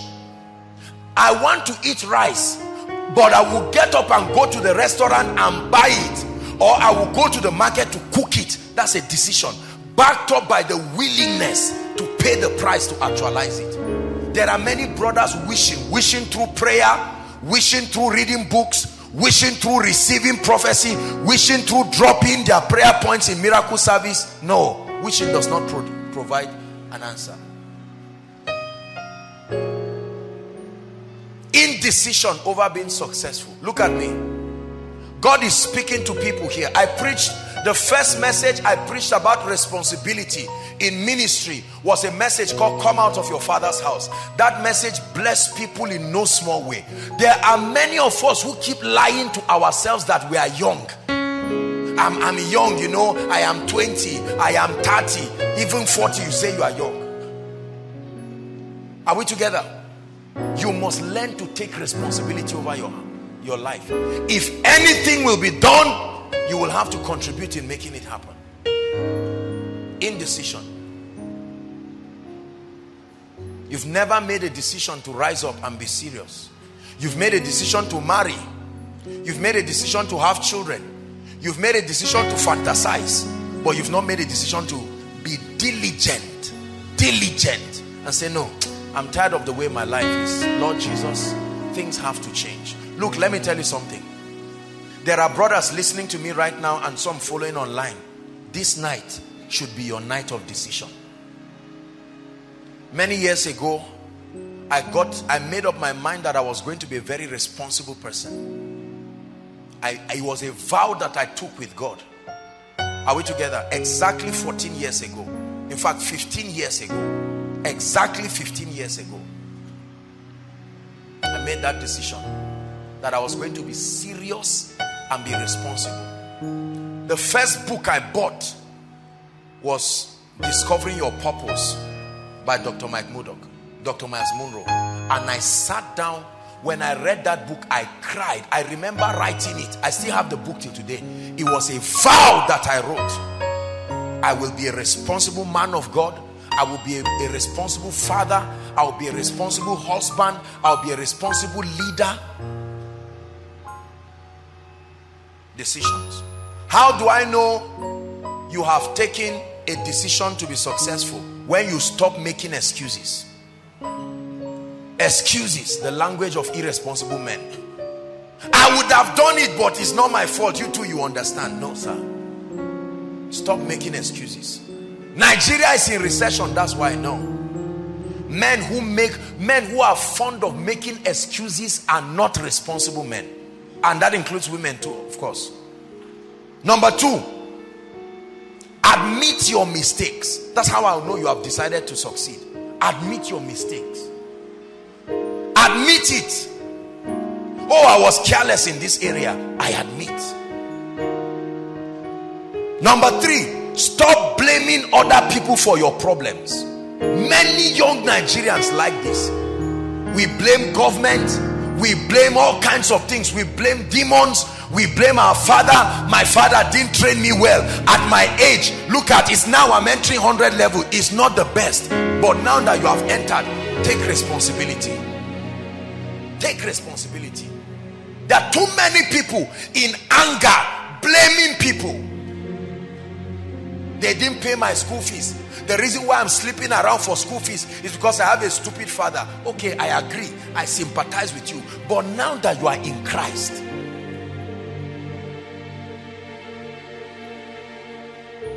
is God speaking to us tonight? This teaching is becoming hot. Koinonia is quiet. I pray that is entering your spirit because that's the goal. Stop making excuses. Brother, stop making excuses. Stop making excuses. You are making the same excuse since you were 15. You are 31 now. Stop making excuses. Your father drove your mother when you were 9 years. Now you are 20. You are 20. 11 years ago. Get over it and move forward. Oh, apostle, I was raped when I was 2 years. I'm sorry. I feel very bad for you. But the God of heaven has helped. I, I, I'm, I'm not, I, I know it's very bad and it's disheartening, but get over it and move forward. In fact, we don't even have too much of that in Africa. It's down the west you find irresponsible people. A 70 year old man will come out and say the reason why he was he was poor was because the father emotionally abused him, and they'll send a counselor. 70 years, he, he abused you. Well, how old were you? I was five for 65 years. You allowed your life to move like a car without a driver. And now you are blaming your father going to stand in his graveyard. Dad i know you're dead but this and that and that. Trouble stories. All this drama and gimmicks. Oh no. Take responsibility. Stand and throw stones at a graveyard and go back 70 years. That's a wasted life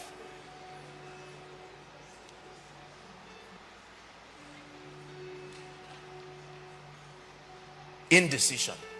Have you made a decision that you will succeed? Brothers, look at me. Have you made a decision that your children will not beg for school fees under your authority? Don't say amen. Have you made a decision? Have you made a decision that your wife will not be moving around and go and enter one bus and somebody will be pushing her pregnant nine months? Madam Shift, one small boy somewhere is pushing your wife. Have you made a decision to be responsible? Have you made a decision to train your children in the fear of the Lord? Have you made a decision to bring the banner of Jesus in your family?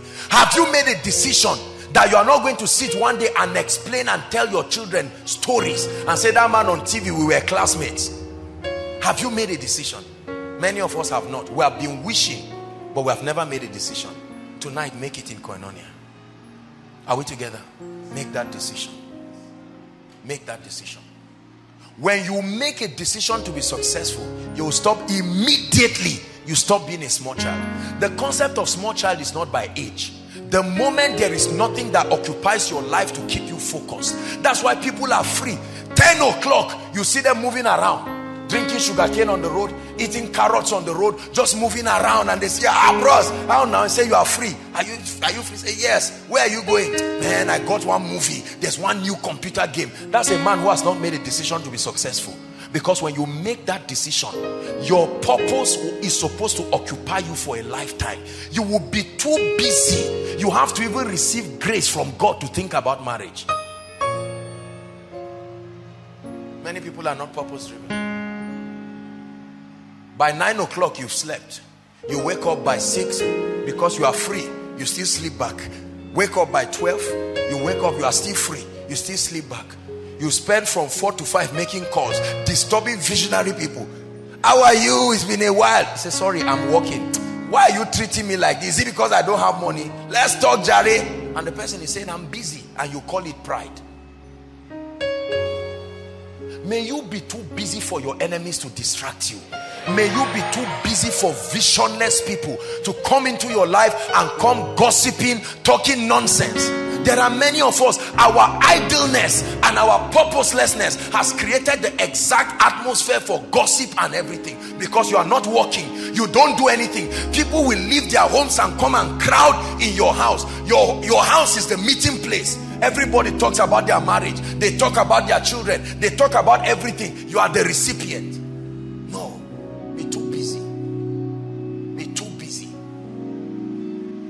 Are we together? Somebody wants to come and gossip. As he's coming close to your house, he sees that you are busy. There are so many things happening. Many brothers are too idle. They are too idle. Call them in the night, they are snoring. Call them in the morning, they are snoring. You're not going to make a great life that way. Look, I will tell you the truth because I love you. That's why many of our parents could not pay our school fees. Huh? Could not pay our school fees. There are fathers today. There are many people seated here. It's not your parents that are paying your school fees. And they are alive and they are doing well. You come and meet them and say, Daddy, I need school fees. They say, Are you stupid? What should I do? Is it that you don't know what is happening in Nigeria? Automatically, what they are telling you is, Are you not a lady? Go and do whatever you know to do to bring the fees. Do you know how I know many parents are irresponsible? Now, let me say this, and I say it with all honor to God for the privilege of being able to help people out of all the people I have paid their school fees and paid the school fees, less than 2%, less than 2% of their parents have cared to call to find out who is paying your school fees. There are people have been paying their school fees for more than four years. There are people that paid their school fees from secondary school till they graduated. And not once did their parents call to say, come, oh, who exactly is the man of God that is paying your school fees? Let's at least come and see him and say thank you. Are we together? Yeah. So I know what I'm saying. Very irresponsible people. There are people, some of you, as you are here now, although you are a student, you are still sending money home. Your father is alive. Your mother is alive. It's not that they are old, they cannot walk. They will even call you. My daughter, nothing for us this month. And they never ask you how the money is coming. So you don't even, do you know? I made a statement and um, it is scaring me. The things that women and even men do for money is becoming scary. As I counsel people, I'm being afraid. Honestly, I'll tell you this. There are many people, I tell you, their parents are not responsible for their lives. A daughter in a family where they cannot even afford bottled water comes with a phone of 150,000 she's not earning she's not working. You don't know who is in a relationship with her. No brother has come to show he's responsible. And the father says uh -uh, you are enjoying know just leave our own for us. You see that kind of man? Somebody comes to drop your daughter by 11.30 in the night. 11.30, you are the one as the father opens the gate for him. Say, ah, ah, my God, look at this car. Welcome. She enters with a nude dressing that already shows hellfire. And yet, you, you please see, this thing I'm saying, I'm not being hard on people. I'm challenging something. If you love Jesus Christ and you love your future, you will love what I'm saying. You may not love me, but love what I'm saying. There's too much carelessness. To the extent that there are many parents who don't even know whether their daughters in, are in the home or not. Three days they've not come home. They don't know. If they see them, fine. If they don't see them, fine. It's a different thing. If they are adults, they can live their lives. You can say, This is my daughter, but I did not teach her this. She's taking her decision about life. But you see some of these young ladies that move around, very small girls. They look at you, even as a man of God, they don't respect you. Because people older than you are the ones dealing with them. You greet them, they want to treat you like that man who was with them yesterday. A stupid attitude. They see you, you even look at them and you see them doing some funny things. You are trying to correct them and tell them something is wrong. Everybody in their eyes is a boyfriend. They don't know the difference between leaders. They are seeing their parents greeting a man of God and they come out and they are behaving all kinds of things. They think he's another toaster. No respect, no dignity. Are we together? Yeah. This is the carelessness that is happening in society. Do you know to the point that if you bless a lady and give her 5,000, she will be looking at you and smiling. It's like she's waiting for the other side of the deal. What other side? Are you hearing what I'm saying now? Because nobody helps for nothing. We live in a society where nobody helps for nothing. If I give you 10,000 naira, you know what to do tomorrow.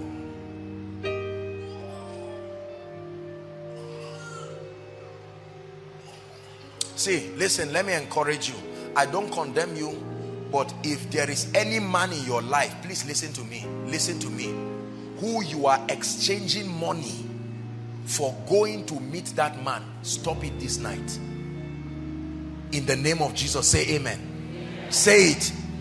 Send them text messages. Whether he's a lecturer or a military officer in charge, send him a text message after koinonia and say, No weekend again, sir. He said, Why? Say, A man of God I love so much has spoken. Oh, I will double what I'm giving you. That's not the issue.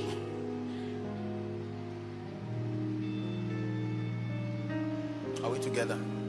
It's very important. It's very disheartening. Please, if you're a parent here and you are listening to me, I'm not saying you sit down and probe your daughters. Ladies, please don't get it personal. But someone has got to talk to them. It's, it's, too, it's too much. It's too careless. It's too much. A daughter comes with a phone that even her father cannot buy. 250,000 naira phone, a laptop, whatever it is. And nobody can ask a question. Nobody. Of course, you cannot ask because you were never part of her life.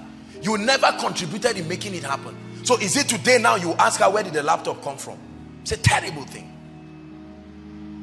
See, when you see me close to my ladies in Koinonia here, is for a reason. Many of them literally did not have that father figure in their life. Literally. The moment they are hungry, they know they must sleep with somebody. So for them, they are shocked having somebody that can bless your life genuinely. Okay, parents, we need we have work to do. Many of our parents have really failed us. It's very important. But then we must take responsibility. Please, sisters, you are going to vow in the name of the Lord today. It's better for them to drive you away from school than you should. Do you know how many people you catch HIV today? Do you think the man who gave you the HIV? There are many people who move around you are seeing. It looks like they are healthy. Aside from the spirit in them, spiritually speaking, causes yokes, spells on their head. They land everything on your destiny. You are too small for that kind of that kind of thing. There are people who you see them young and small, but the things they have gone through, they can sell you and bring the change. They look at you as if they don't know anything. The Lord will help us. The Lord will seriously help us. Valentine is coming again. An opportunity for destroyers to emerge. From tomorrow, they are selling cakes now, selling balloon, selling letters, selling all kinds of things. They will come roaming around like wolves, about to eat up the destinies of people. They leave their wives and their children. Some of them, their parents, some of the people that some of these men are looking for, the lady they are looking for is even the daughter of the man's friend. Is that true? Yeah. There are ladies that pride themselves in dealing with certain classes of men. We don't do all these small, small boys. No. Us, our own, we deal with Abuja kind. 99 days for the thief. The, the owner is not your husband, the owner is Jesus. The day the owner will come and say, Look, I'm fed up with your life, you'll be in trouble. Men will go and catch HIV and come and give their wives. Women will catch HIV and give their husbands and kill themselves. I paid a lady's school fees today by the grace of God and to the glory of God. And it was a disheartening situation. Her registration was closing today in one of, I don't even know the person in the university today. Her father and her mother both died of HIV and left two of them taking care of themselves. I asked the lady, how have you been paying your school fees? She said, I do tailoring. I laughed. I said, I'm not a small child. How have you been paying your school fees? Answer me. What is you do tailoring? How much is your school fees and how much do you sew clothes? And that's when she shocked me and said she has been paying it by doing whatever she does with her pastor. nothing goes for nothing. This is Nigeria. Can't, you can't eat your cake and have it.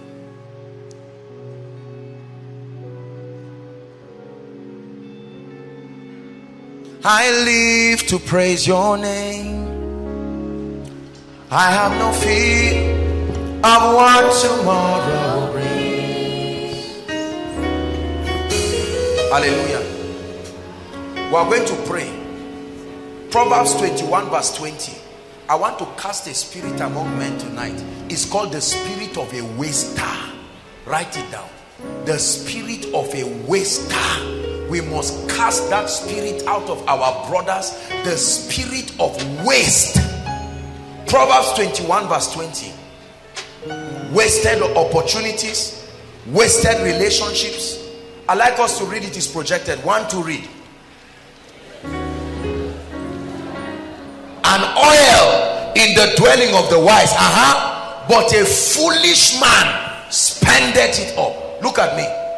You know, when I talk to many brothers, the first thing they tell me is, Apostle, times are hard. There's no money. I want to do business. There is no money. It's a lie. Look at me.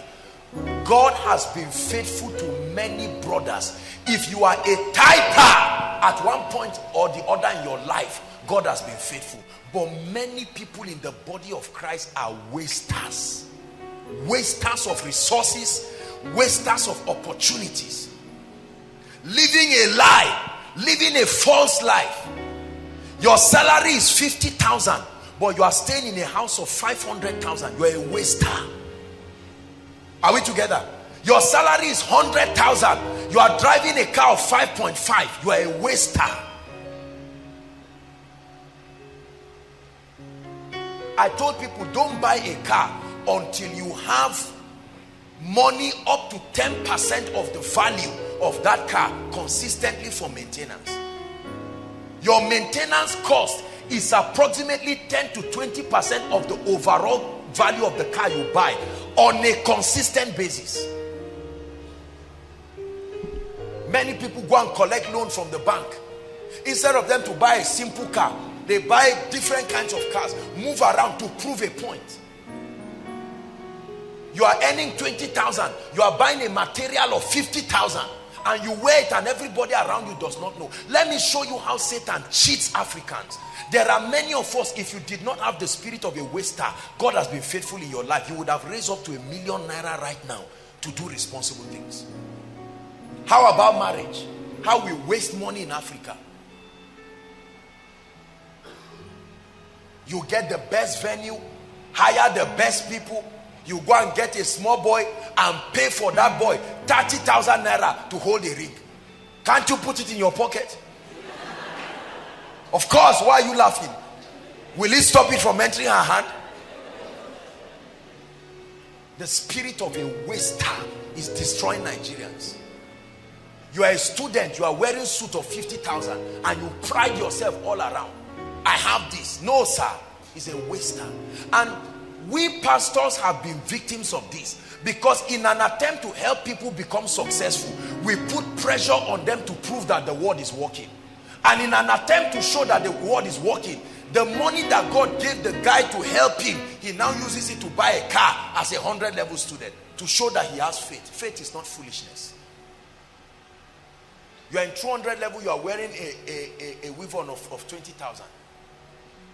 No. There are many students who are eating where certain lecturers are eating. Where a piece of meat, a big piece of meat is 500 naira. See that? And you eat three square meals a day.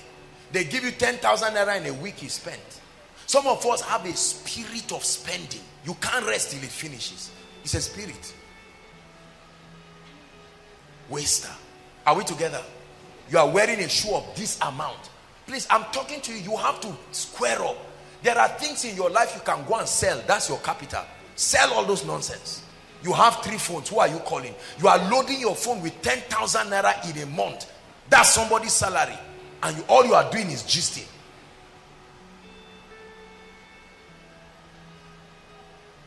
Rooms that we give the devil to destroy our lives. Praise the Lord. You are not doing anything. Your barber comes to meet you. 1,000 naira per baby. Can't you go and queue? What are you rushing for? Are you getting what I'm saying now? There are people who don't have any money. You are not earning anything. You charter a car to wherever you want to go to. Let me show you how we waste money. 25,000 naira on a trip. Oh, I can't enter night bus. We have to fly. 30,000 naira. Economy is finished. Book business class. 45,000 naira. You are paying, you are flying away your destiny. Whereas with 5,000 naira, you can with honor. I'm not saying the days will not come for those things, but not now. Fake life, you see people living, especially women of God. Fake life. So that I will show that I'm anointed. You go and buy a watch of 100,000, you are wearing it. No, let me tell you, when you rise, everything around you rises. So when you fake it, nothing around you can resonate with the level you claim to have been. You don't know anybody that warrants that level of influence. When Koinonia started here, with crowds of people packed to outside, I will come on a bike. A bike, miracle service. People are waiting. The next thing you hear sound of a bike, I will drop from it honorably with my Bible.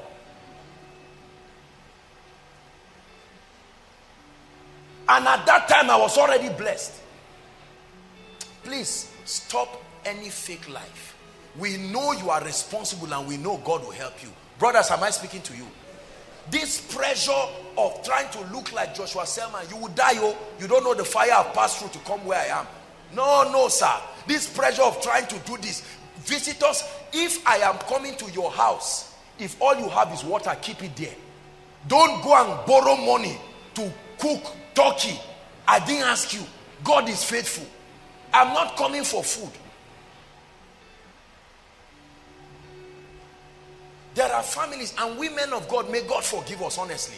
Because when anytime they visit any family, they must prepare honorarium. Thank God no leader is doing that here.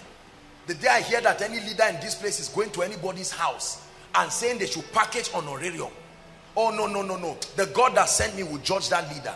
Judge that leader.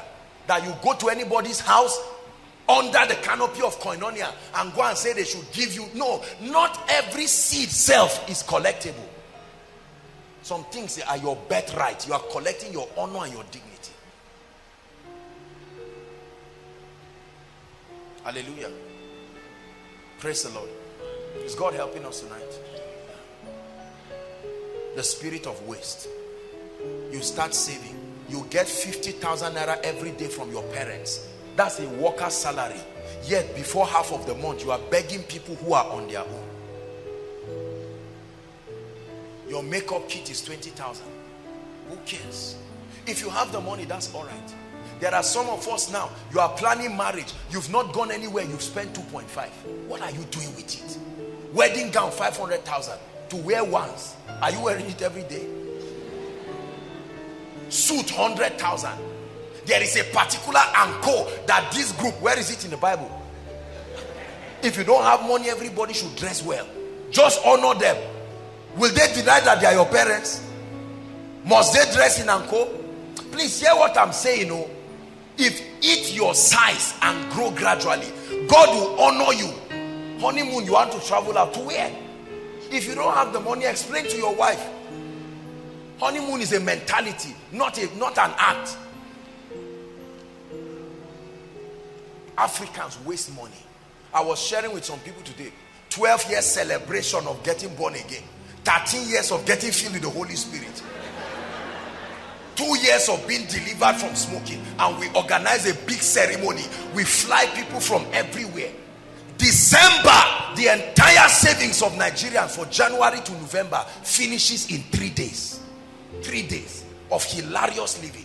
You buy hamper 14,000 per one. You buy almost 20 to share because you are looking for a good name in church. No sir.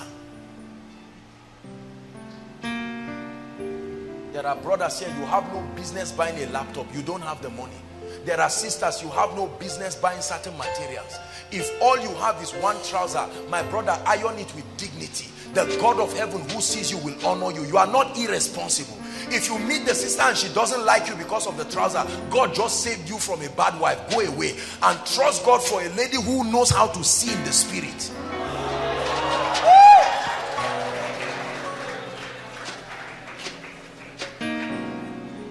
Hallelujah. Don't put pressure on yourself. You enter any relationship that is a high maintenance relationship, killing you, book for counseling book for counseling fast and say apostle i need help. I entered I, i'm not saying you are bad people. That's what counseling is for. To be able to talk to you and say no no no i think you are spending too much. People get married and they don't have a house. They get married they spend 2.5 million and they cannot afford 150,000 for a house because of the life of a waster. May the lord deliver us from the spirit of waste what of ministries that waste? Uncommanded projects. Projects that are not commanded by God. Oh, this other man of God is doing it. Let's do it too. A church comes and they don't have money simply because they are seeing people pay school fees. They now start paying people school fees and the entire reserve of the ministry disappears. Oh, they are buying a pulpit. Oh, they are buying this. This is five million. We must also buy it. Uncommanded project. Anywhere God has not taken me to, I'm not under pressure. I will get there for sure. Whether you believe it or not, I will get there. There are levels Koinonia has reached now by the grace of God, and there are levels we have not reached. I will never put myself under pressure to get into those levels. Brother, your hand does not reach to buy a car. Be patient. Just take it easy. The God of heaven will give you. When favor comes upon your life, it will be like rain. In 24 hours, God will change your life. But by the time you force the door, it will open, but it will kill you. We are going to pray. Has anyone learned something tonight? God wants us to rise to be great men and women. First in our family lives, but also in every other thing. Every lady here trusting God for a good man. May the God that I serve bring a good man to your life. And any brother trusting God for a good woman, may God bring a good person but you cannot reap a seed you are not sowing. You cannot sow the seed of a stupid man and reap a virtuous woman. You cannot reap, sow a seed of a wicked woman and reap an award-winning man. God is not that unjust. Do not be deceived. God cannot be mocked. Whatsoever a man sows, that he shall reap. So ladies, please listen to me as I round up. In the name of the Lord Jesus Christ, be careful with some of this carnality and materialism. Be careful. I've challenged the brothers to be serious, but you must be careful. There is nobody, no tree, no matter how well you water and fertilize it, it will not become a giant oak tree in one day but there's potentials for it are you together now yeah there are people some of you admire if you saw them 10 20 years ago you will not like them but faith I saw one man of God. When I saw his picture it was as if he was with rope he used to tie his waist. You can use measuring tape and tie the waist. His wedding with his wife she just stood as if they carried that cap as if they carried cap somewhere and just put on her head. And the guy the guy should be a multi-millionaire if not a billionaire today. He lavishes upon his wife like there's no tomorrow. That's the price of taking the risk with the man. If you are risk averse you sit down there is god helping us. And brothers be responsible. Don't take for granted that i've told ladies to be responsible to be responsible and you sit down. You are stingy you are greedy you are in a relationship valentine is coming you are pretending like you don't know. Plan! You must do something on tuesday. Plan! Plan! You have today saturday sunday monday tuesday morning. Plan! So that you don't take for granted and say because some of those things are laziness please we must balance it brothers you must be serious Sisters, you must be serious. Make up your mind that you are going to make a good decision. Dissociate from any dangerous and poisonous relationship. Brother, you are in a relationship that is, is killing you, is eating you up spiritually and financially. I may not advise you to break, but I advise you to cry for help. Cry for help. Don't die in silence. Sister, you are in a relationship with a brother who is oppressing you and making nonsense out of your life because I said you should be virtuous. Cry for help. And if it's not changing, leave him. Leave him. It is scriptural to live a relationship that does not represent where you are going. Are we together? We're going to pray. We'll continue tomorrow during the workers' retreat. Rise up on your feet.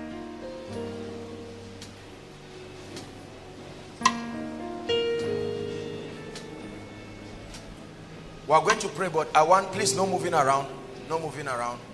I want everyone to stand just just stand still for a moment. And i want you to think about your life in one minute. Especially for the brothers. I want you to meditate upon your life in one minute. What will your 10 years be from now?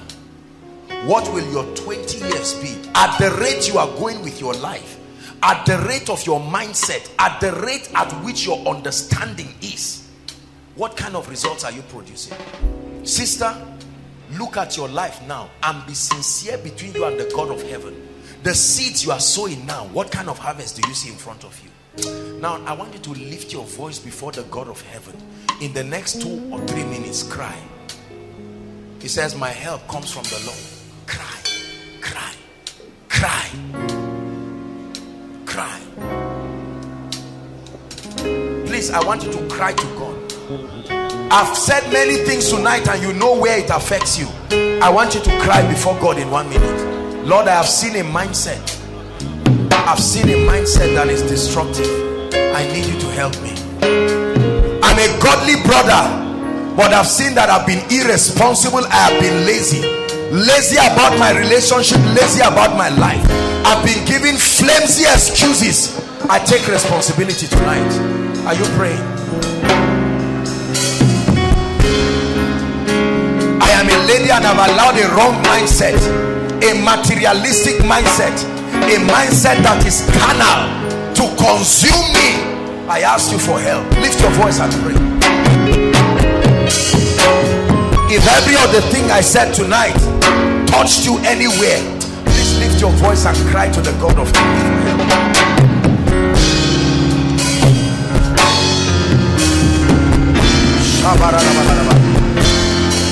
Lord, I've not been responsible as a father. Pray. You are connecting with us online. Pray. I've not been responsible as a husband to my wife, to my children.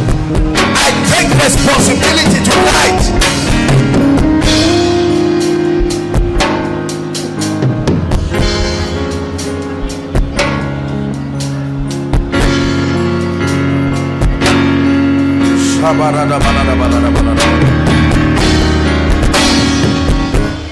Hallelujah. prayer point number two father take away every spirit of indiscipline laziness and wastage and irresponsibility. Let it live my life forever. Lift your voice and pray. Laziness. Mental laziness.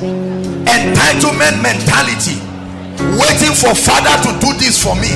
Waiting for mother to do this for me. Flimsy excuses. Are you praying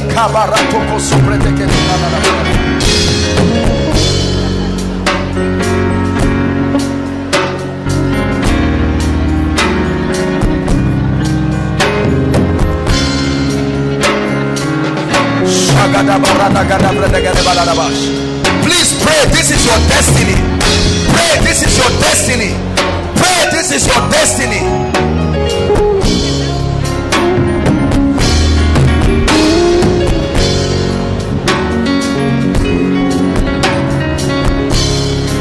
Hallelujah. Hallelujah. Lord, break any relationship in my life love relationship wrong associations that are contributing to my downfall in life let them be scattered now i don't care how long any wrong friend wrong associate wrong whatever it is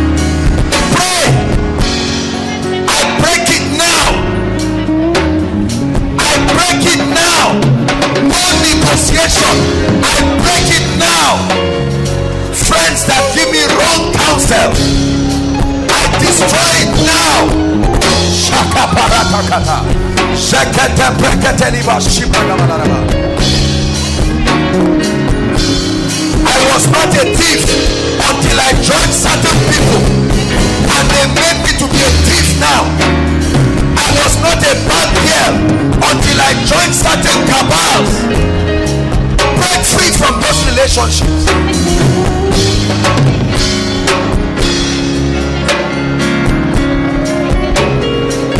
Hallelujah. Two more prayer points. Prayer point number three Father, give me direction. First, over marriage and over every area of my life. I, I confess that I'm confused. Give me direction. Lift your voice and pray. Lift your voice and cry out, Lord, I need direction. concerning the issue of marriage i need direction. If you are married pray lord concerning my family. Right now i don't even know what to do. Things are not working in my family. You've got to help me oh god. Direction on what to do as a father financial direction on what stream of income to put your hands on. Don't just do anything because everybody is doing anything. Direction on how to go as a pastor. Direction on my marriage. Direction on a life partner. Direction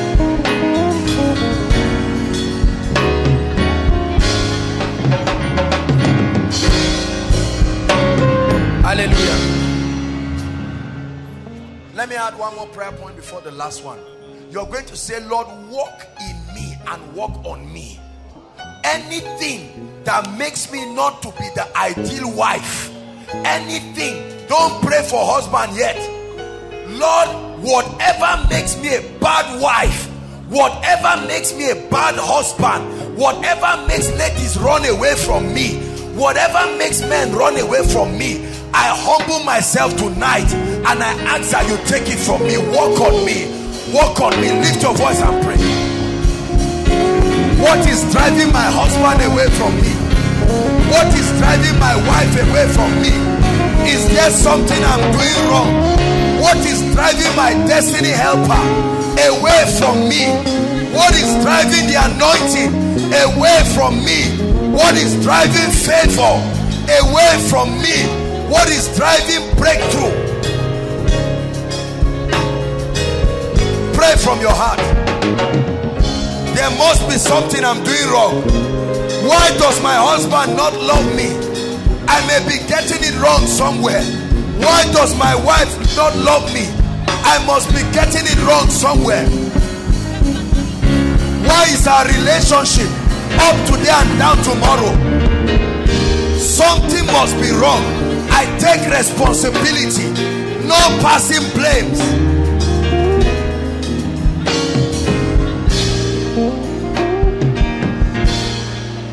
Hallelujah. Last prayer point, and we're done for this night. Listen carefully. We're going to pray this prayer point before I make the altar call. There is a dimension I didn't have time to talk about. Maybe tomorrow, if God grants us time during the workers' retreat, I will explain. It's called the sovereign help of God. Listen, listen. Ah, yeah. Brothers and sisters, God can help a man. I am a testimony of a man that God has helped. The Bible says, and Uzziah was marvelously helped of the Lord. A young man to for a young man to be established in Nigeria is hard. I, I admit it is hard. There are no jobs. Every society gets its employment from the private sector. And if the private sector is not robust in any economy, there is no job. I know. The probability of an average young man to be established before 30 in Nigeria now I tell you the line is very slim. If it's to follow everything justly, by God, when will you write JAMB and finish? Strikes in school before you finish. And all the trouble that comes with sentiments and tradition. You need help. Brothers, it's neither by strength nor by power. When I found out that my strength was too small to give me the result, I played my role and ran to God. I, I want to give you the next two minutes. I don't know how you will pray this prayer, but you are going to say, Lord, if you don't help me, I will move forward. Oh, I, I am tired. Please cry, cry, cry, cry. God can help men. Oh, he has been our Ebenezer as a ministry. We are a testimony of men that God has helped. My life today is a testimony of how a, of how God can help a man. Cry for his help. Cry for his help. Don't pretend you don't need it. Don't pretend you don't need it. In his help there is favor. In his help there is protection. In his help there is honor. In his help there is restoration. In his help there is speed. There is advancement. Help me, oh God. Help me over the issue of marriage. Help me over the issue of business. Help me over the issue of my children. Help me over the issue of my family. Help me over the issue of my character. Help me over the issue of everything, my career. I admit that I need your help. For he is our ever-present help. Ever-present help ever-present help.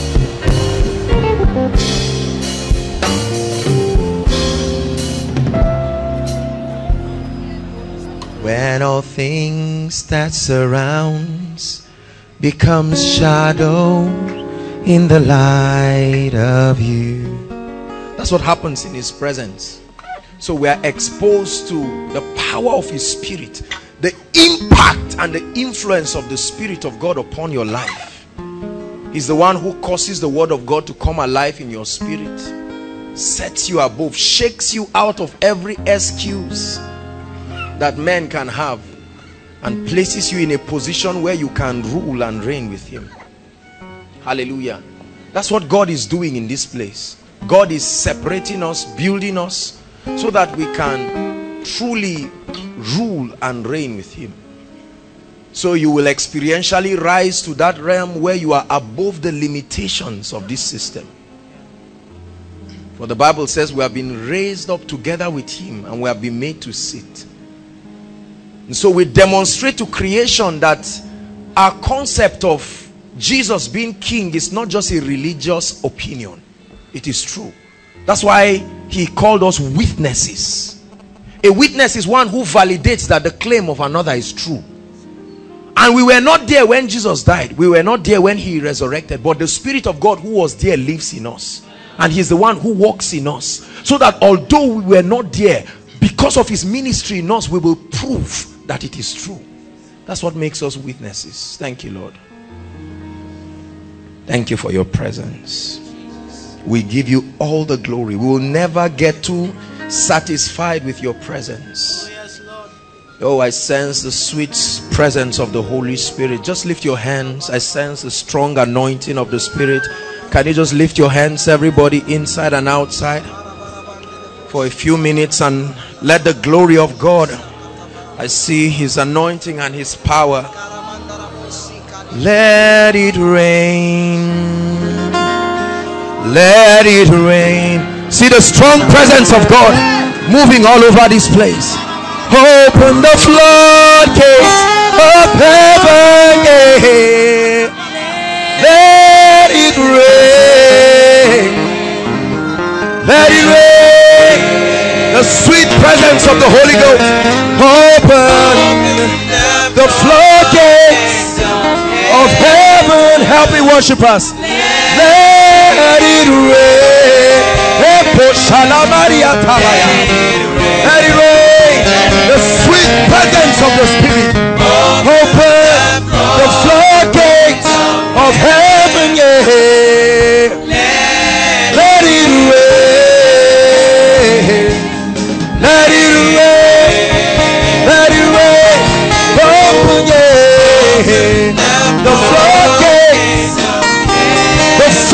Of the Spirit. The impact of His presence upon your mortal body. Let it rain. Open the floodgates. The floodgates of heaven.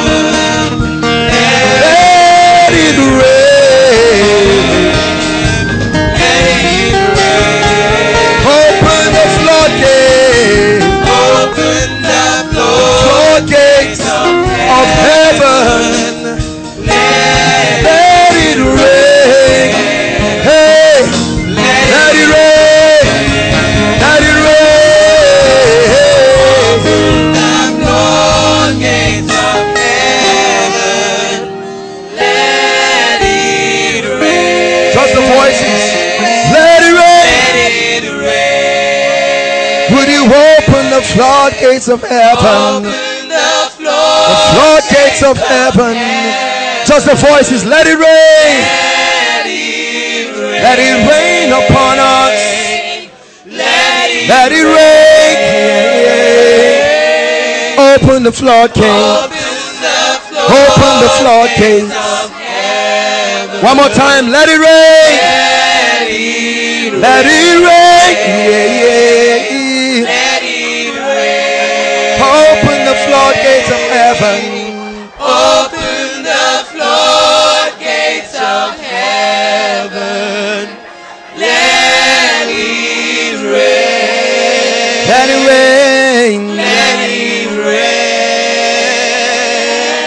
Open the floodgates of heaven. Open the floodgates of heaven. Hallelujah.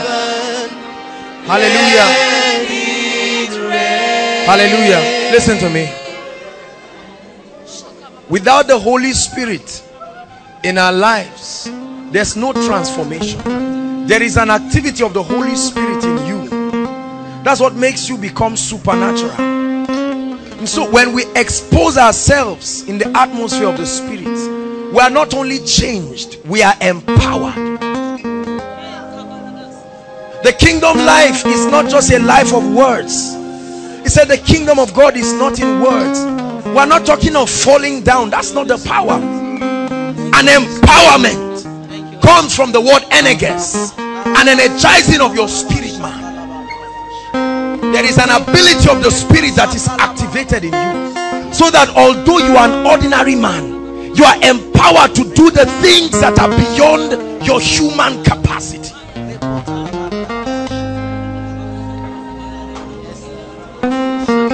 how shall these things be mary said he said the power of the highest shall overshadow you that's why we get the word baptism comes from the greek word baptizo immersed in a flood such that you are not seen again. That you be immersed. That's what koinonia is about.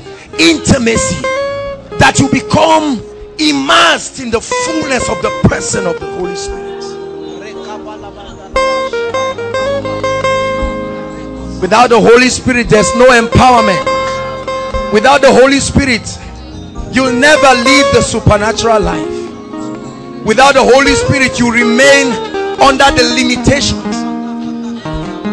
You try to get what you call the word of God without the Holy Spirit it will turn into religion. It's the Holy Spirit who makes the word spirit and life. He's the breath of God the one who came upon Adam dust and quickened that dust to become a living soul. The Bible says we're of the breed of the second Adam who is not just a living soul but a quickening a life-giving spirit.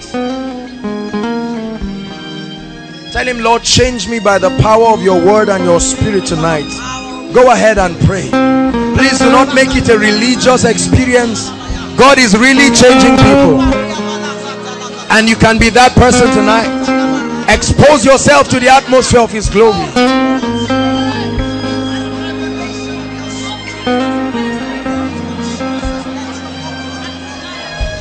I see miracles signs and wonders in the glory and the power I see miracles signs and wonders. Sing, Lord, I receive. Lord, act of faith. Say, Lord, I partake. Lord, I partake. Lord, I receive. I receive the fullness of your spirit. I receive wisdom. I receive power.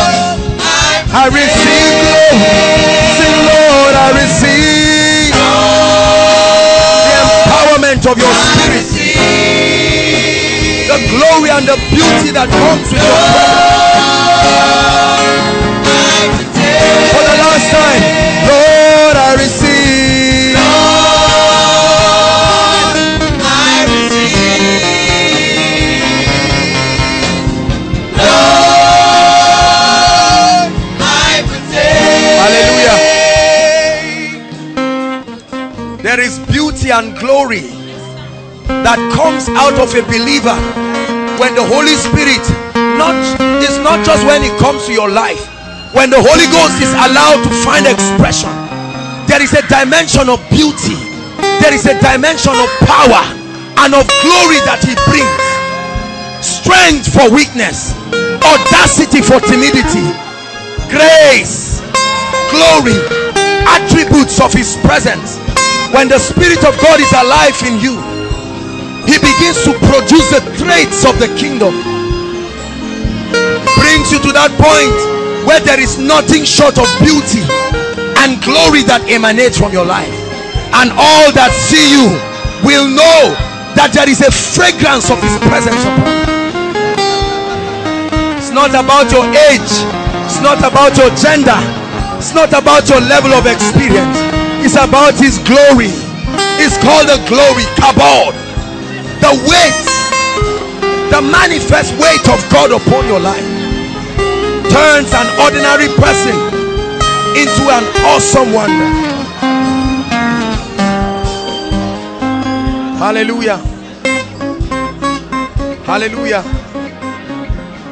Listen to me. Inside and outside listen. We have an assignment.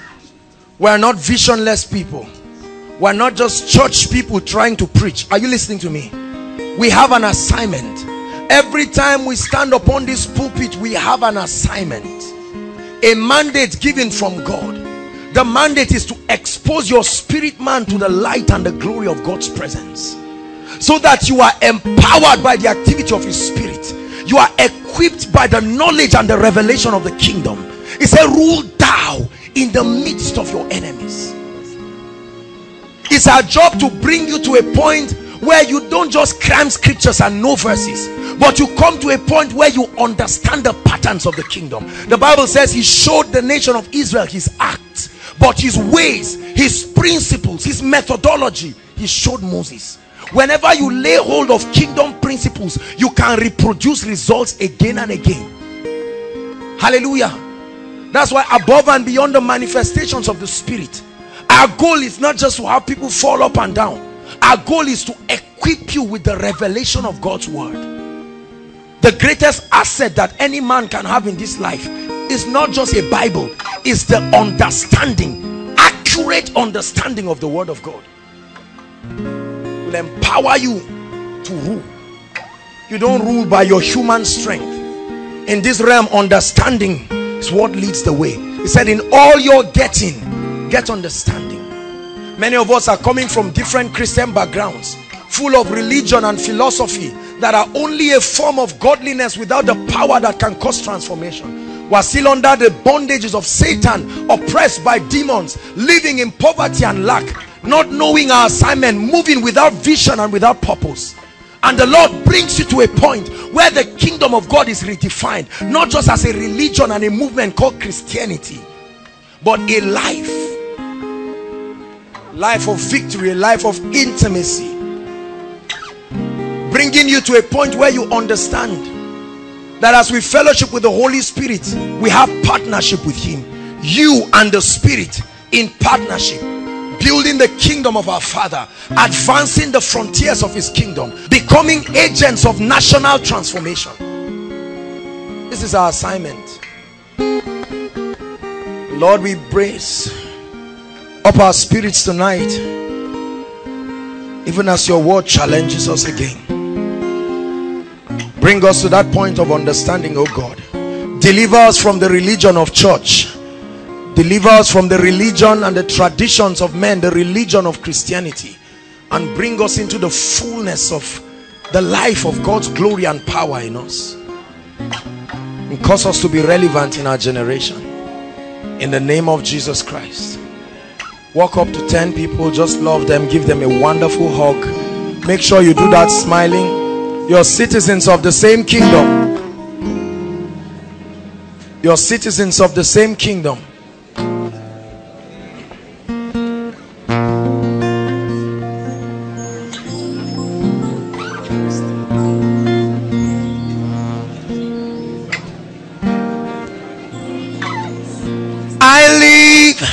to praise your name.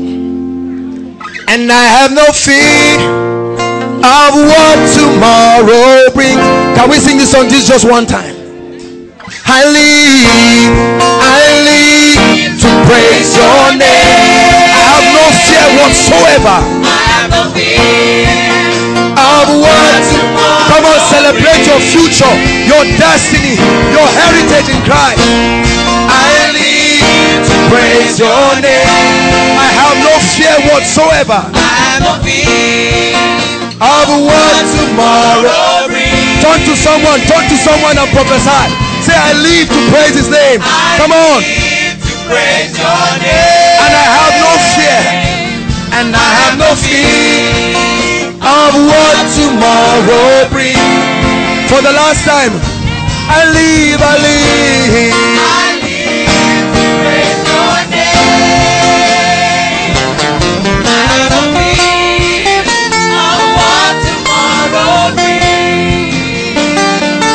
Because you lead.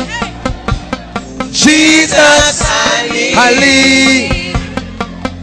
I have no fear of what tomorrow brings. what tomorrow brings. Because you live,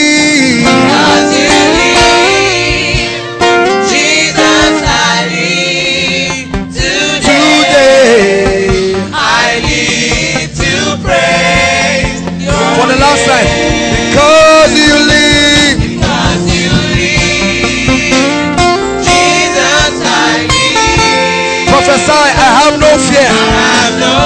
No, no fear.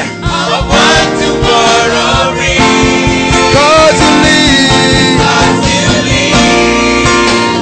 Jesus, I lead today. I lead to praise your name. Hallelujah. God bless you. Please be seated. There's no fear. There's no fear. It's amazing. Listen, listen to me. It's amazing how many people live. Do you know how destructive fear is? Hallelujah. Fear can be so destructive. Let me tell you something.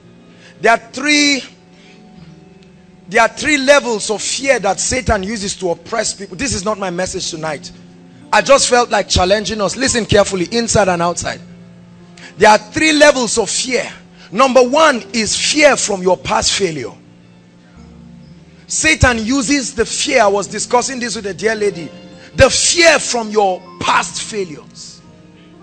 And so every time you want to move forward and the word of God challenges you to do great things for the kingdom. Every time you want to take steps of faith, the fear of your past failure, not just the fear of your past. You don't fear your past success. You only fear the past failures. And so Satan begins to tell you how many times you tried and tried again to catch fish throughout the night and nothing happened. When you conquer the fear of past failures, then you are ready to brace up for a victorious life. Hallelujah. Number two, fear that comes as a result of ignorance. There is fear that is as a result of ignorance. People say when fear knocks the door, call faith. It depends on what you call faith. Faith that is born out of religion will open the door and see fear standing. The antidote to fear that comes from ignorance is knowledge and understanding. He said, in all thy getting, get understanding. Exalt her and she shall promote thee. He says, she shall bring an ornament of glory upon thy head when thou doth embrace her. Doth not wisdom cry? He said, wisdom is the principal thing. Therefore get wisdom. And with all thy getting, get understanding. So there is fear that comes how many of you have found yourself being afraid? If we are going to do it, an interview right now on scriptures and the Bible, I'll be so confident. But the moment we are going to do an interview over cooking, I'll start fidgeting. The same me who was confidence, who was who was very confident a while ago. You know why? Because I have not mastered the laws. So I'm afraid of embarrassing myself before people. Are you listening to me?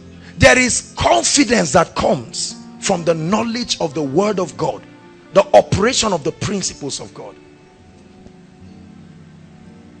many believers who do not expose themselves to the knowledge of the word and many believers live in this category hallelujah if I'm sleeping and a demon appears in my room I'll not even pray about it I'll just keep sleeping knowledge that sets you free from fear are you listening to me if someone looks at me today and say, Joshua Selman, I want to announce to you that you're a failure.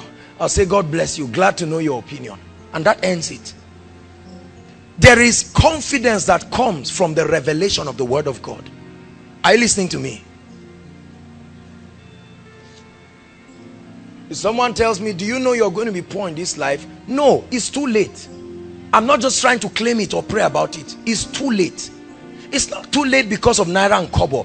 It's too late because the word of God has been engrafted in my spirit, number one. Number two, my heart is already committed to obey the principles of God. Are you following me now? That's the second level of fear. The third level of fear comes from the opinion of other people. It's amazing how many people are unable to live the fullness of their lives because we allow what people to think about us. What would they say? What will this person? The condition to be criticized is that you are born of a woman. Full stop. Satan is destroying people who are criticizing him. Jesus is blessing people who are still criticizing him. The condition, listen, hear me. If you do not conquer the fear that comes from the opinion of others, you will never make headway in life. I'm preaching to somebody this night. Hallelujah. I refuse to let the opinion of others make me ashamed of believing the word of God. Someone looks at me and said, can this young guy be a Pentecostal blasting tongues? Your opinion is has no effect on me whatsoever. The future will tell whether I'm wasting my time or not. Are you listening to me? We worry too much about people and what they say. You want to come to church and you are wondering ah my roommates they are gisting about something now they are going to wonder are you kidding let me tell you something the fear of people is conquered based on the conviction you have over what you are doing your depth of conviction is what gives you audacity in spite of what people are saying. If somebody comes to hold my hand and say i know you oh, when we are growing up i mean you you you are now the preacher. I mean that's that's it it i mean it it doesn't even bother me. Are you listening to me? There is a depth of he said but i know whom i have believed and i am persuaded. Persuaded. Somebody comes to tell me okay don't you think this holy spirit thing you're doing is too much? Why don't you strike a balance? Are you kidding? Or someone comes to say are you really sure jesus is alive? That's even the worst because i've seen him. I didn't just read about him in the bible. I know he's alive. Not just because I read it in the Bible. I have seen him. That which we have seen, that which we have heard, that which our hands have handled, even of the word of life. This is what we teach. Are you listening to me? So the first encouragement tonight is that you must conquer fear. Say after me in the name of Jesus. Shout it like you believe it inside and outside. I conquer fear. I refuse to fear. My God is alive. The word of God is true. And God will not fail me. Yes, God will not fail you. Jesus was not playing games with you when he hung on the cross. Are you listening to me? No matter how much you are playing games, he stops when blood starts coming out. Jesus was certainly not playing games on the cross. A 33 year old man hung naked upon the cross. He's not playing games.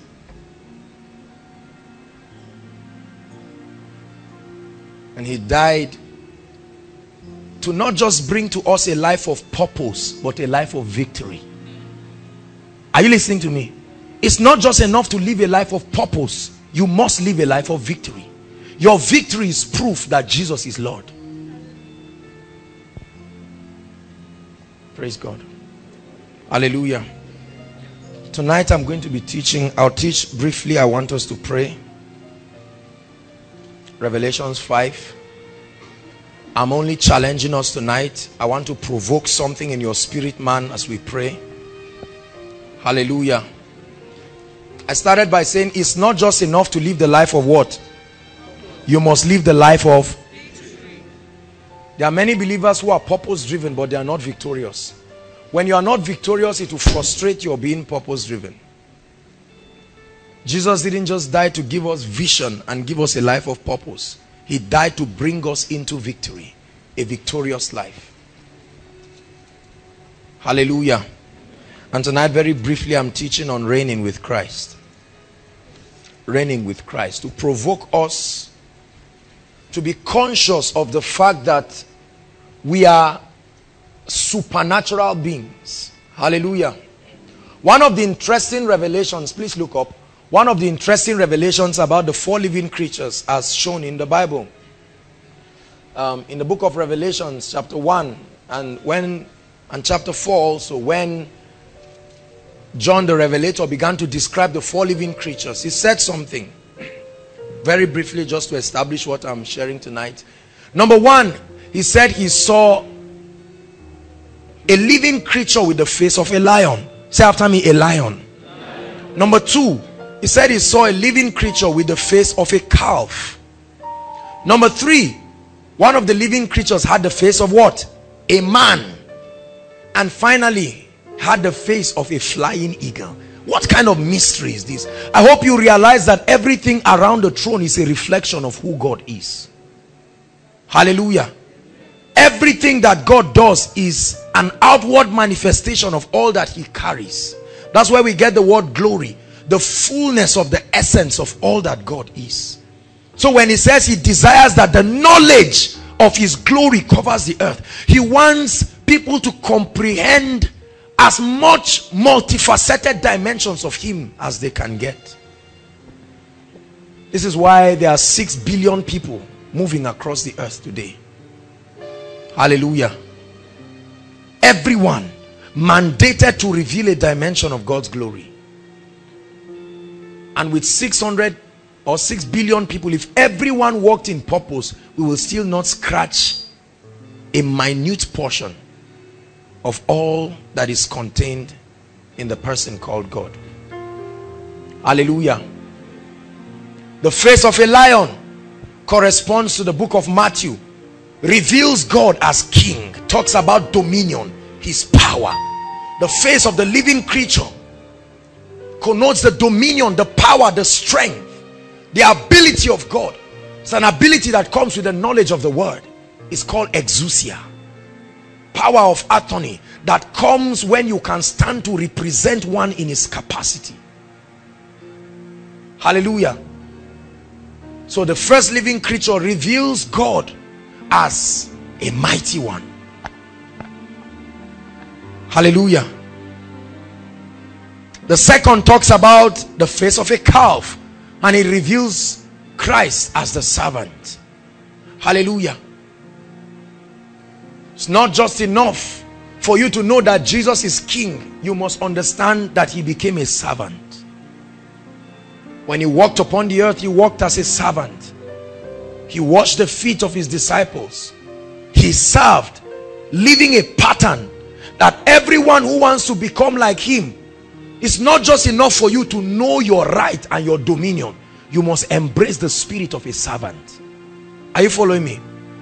In fact the greatest in the kingdom according to the teachings of Jesus is the one who serves. The word minister is the word servant not lord as many people put it. Number three the face of a man. Jesus Christ expresses his humanity. Jesus wept Jesus was hungry. Jesus ate. Jesus was tired. Hallelujah. He expressed his humanity. That means there's nothing wrong when your humanity emerges in your journey to love God. Don't be ashamed of your tears. Bible says, though weeping endures. Many times we teach people to strangle their humanity as proof that they are Christians. The Bible doesn't teach that. There is glory that is derived from your humanity. When Jesus cried, Eloi, Eloi, lama sabachthani. He gave us an expression that this was a human going through that excruciating pain. And so there's nothing wrong with your humanity except for the fact that without the others it is incomplete. The fourth reveals the king as a divine supernatural person the face of the flying eagle corresponds to the book of John. Hallelujah. So Matthew reveals Christ as king. Mark reveals Christ as the servant the calf. Luke reveals Christ as the man. And the book of John reveals Christ as the divine one. It's in the book of John that three chapters were dedicated to the Holy Spirit 14 15 16 and he began to talk about the Holy Spirit. The Holy Spirit is not discussed so much in other chapters. Are you listening to me? And so it's not just enough to let you know that you are a servant. You know we have been trashing the issue of character. We have been trashing the issue of manifesting the character of the kingdom living by the principles of the kingdom hallelujah. Not bowing to Baal. Allowing God to lead us through the process of greatness. Hallelujah. We have been able to establish in our lives the concept of the kingdom. By now you understand that success is not about money. Success is about people impacting people blessing lives. Letting the giftings and the blessings of God in you become a blessing to others. But it's not enough if we stop there. Are you listening to me we must provoke you to a point where you realize that you are supernatural. Say after me i am supernatural. You are all supernatural. The divine life of the spirit is at work in you. Do you realize that you are not if you are born again in this place you're not just living by your biological life? It takes the Holy Spirit to help you believe this that you're not just living with your biological life. The Bible makes us to understand that we are partakers of this divine life. Hallelujah. First Peter chapter 1 verse 3 says according as his divine power hath given us all things that pertains unto life and godliness. He said this has come through the knowledge through the knowledge of him that has called us into glory and virtue. Hallelujah. There is a manifestation of the divine life that the believer must come into terms with.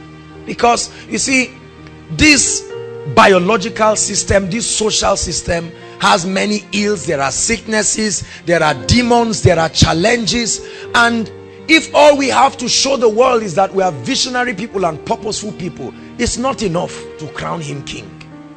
There must be that supernatural dimension. We must demonstrate to the world that we have been raised up with Christ and that today experientially we are living and reigning with him as kings and priests. So briefly i'll just be challenging us and then we pray. Revelations 5 thank you jesus. Adonai lamb of god you are worthy worthy of my praise king of kings lord of lords let your kingdom reign in my life. Sing Adonai, Adonai, Adonai, Adonai. Sing Adonai, Adonai. Sing Adonai, Adonai. Can we sing it one more time? Adonai, Adonai, Lamb of God, you are worthy of my praise. You are worthy, worthy of my praise. King of kings, King of kings, Lord of lords. Lord of Lords, Let your kingdom reign in my life. Let your kingdom reign. in my life. Sing Adonai, Adonai, Adonai, Adonai, Adonai, Adonai, Adonai. Revelations 5 verse 8. And when he had taken the scroll, the four living creatures and four and twenty elders fell down before the Lamb, having every one of them harps and golden bowls full of incense, which are the prayers of the saints. Let's read verse 9 together. Verse 9, one to read. And they sung a new song, saying, Thou art worthy to take the book and to open the seals thereof. It says, For thou was slain, and thou hast redeemed us to God by thy blood out of every kindred and tongue and people and nation. Next verse. And has made us unto our God kings and priests, and we shall reign. Where? We shall reign. Where? It's in your Bible. It says he has redeemed us, calling us out of every kindred, every tongue, every nation. Can I tell you something? We represent different kingdoms, different cultures, different mindsets, different ideologies. We're coming from different parts of this country and outside of this country. But the Bible says that through the shed blood of the living Son of God, He has called us from our different places with our culture our tradition our mindset our limitation. He has called all of us and brought us into one family. And from that family he has exalted us so that we become kings and priests that will reign now here in this earth. I hope you understand that john saw the things that were the things that are and the things that will happen thereafter. And part of his findings was that he saw that they sang a new song. This was the song that they were singing in heaven. They were singing melodies and saying worthy qualified is he who is worthy to open the book. Jankfa shared on the breaking of the seals. Hallelujah to open the book and unlock the seals. It says for thou hast redeemed the word us there is wrong. It's supposed to be them because the ones singing in heaven are not the redeemed. We are the ones who they did not benefit from the I hope you realize that these were the elders and the beings in heaven. They were not the saints who were singing. So it's supposed to be thou hast redeemed them not us. As is used there anyway that's just for your knowledge and understanding. Thou hast redeemed them unto God by thy blood calling everyone through the blood of Jesus. I enter the holy of holies. So from Adamawa through the blood from Lagos through the blood from Plateau State through the blood. Are you listening to me? From Abuja through the blood calling everyone out of every kindred come your religion is to do this. Come. You're coming. Come. Calling people. Come. Out of every kindred. Yes we we drink the blood of bulls and goats. Come. We don't believe in early marriage. Just come. We are we are failures in life. Come. No no I, I won't use you. Come come come come. Come from every tribe every tongue every nation whether it's in the map of this country or not say after me I am called. The blood speaks. I hope you realize that. The Bible tells us that the blood speaks. It speaks better things than the blood of Abel. The blood of Abel speaks vengeance. The blood of Christ speaks mercy. Beckoning on men. Let me tell you what mercy is. Mercy is God exempting you from a punishment that you deserve grace gives you what you do not deserve. Mercy exempts you from what you deserve. The punishment that you deserve. Are you following me now? And so every man according to God's justice is supposed to die for his sins. I hope you know that. When Adam sinned he died. In the days of Noah when they sinned what happened? They died. But the blood of Jesus Jesus Christ being the veil between the inner court and the most holy place allowing the sword of men to pierce him as that veil and his blood invites men. Says come and you say lord i'm limited. He said no my blood qualifies you. Mercy said no i'm not gonna let you go. God bless you. Sit down. I'm not gonna let you sleep away you don't have to be afraid. Hallelujah. So every time you come from your kindred our tribes and our cultures have their limitations. There are different tribes and cultures that are associated with different things. Are you listening to me? Associated with weakness with sickness with defeat with failure with all kinds of things and the blood gives us a platform. And the king begins to call people out of every kindred. I'm trying to give you a, a drama of what was going on in heaven. They said worthy. Worthy. Worthy is he that is qualified to call men in spite of their limitations. Any excuse you give the blood covers. Let me tell you something about the blood. You see two things. I'll tell you two things about the blood that will encourage you as we continue.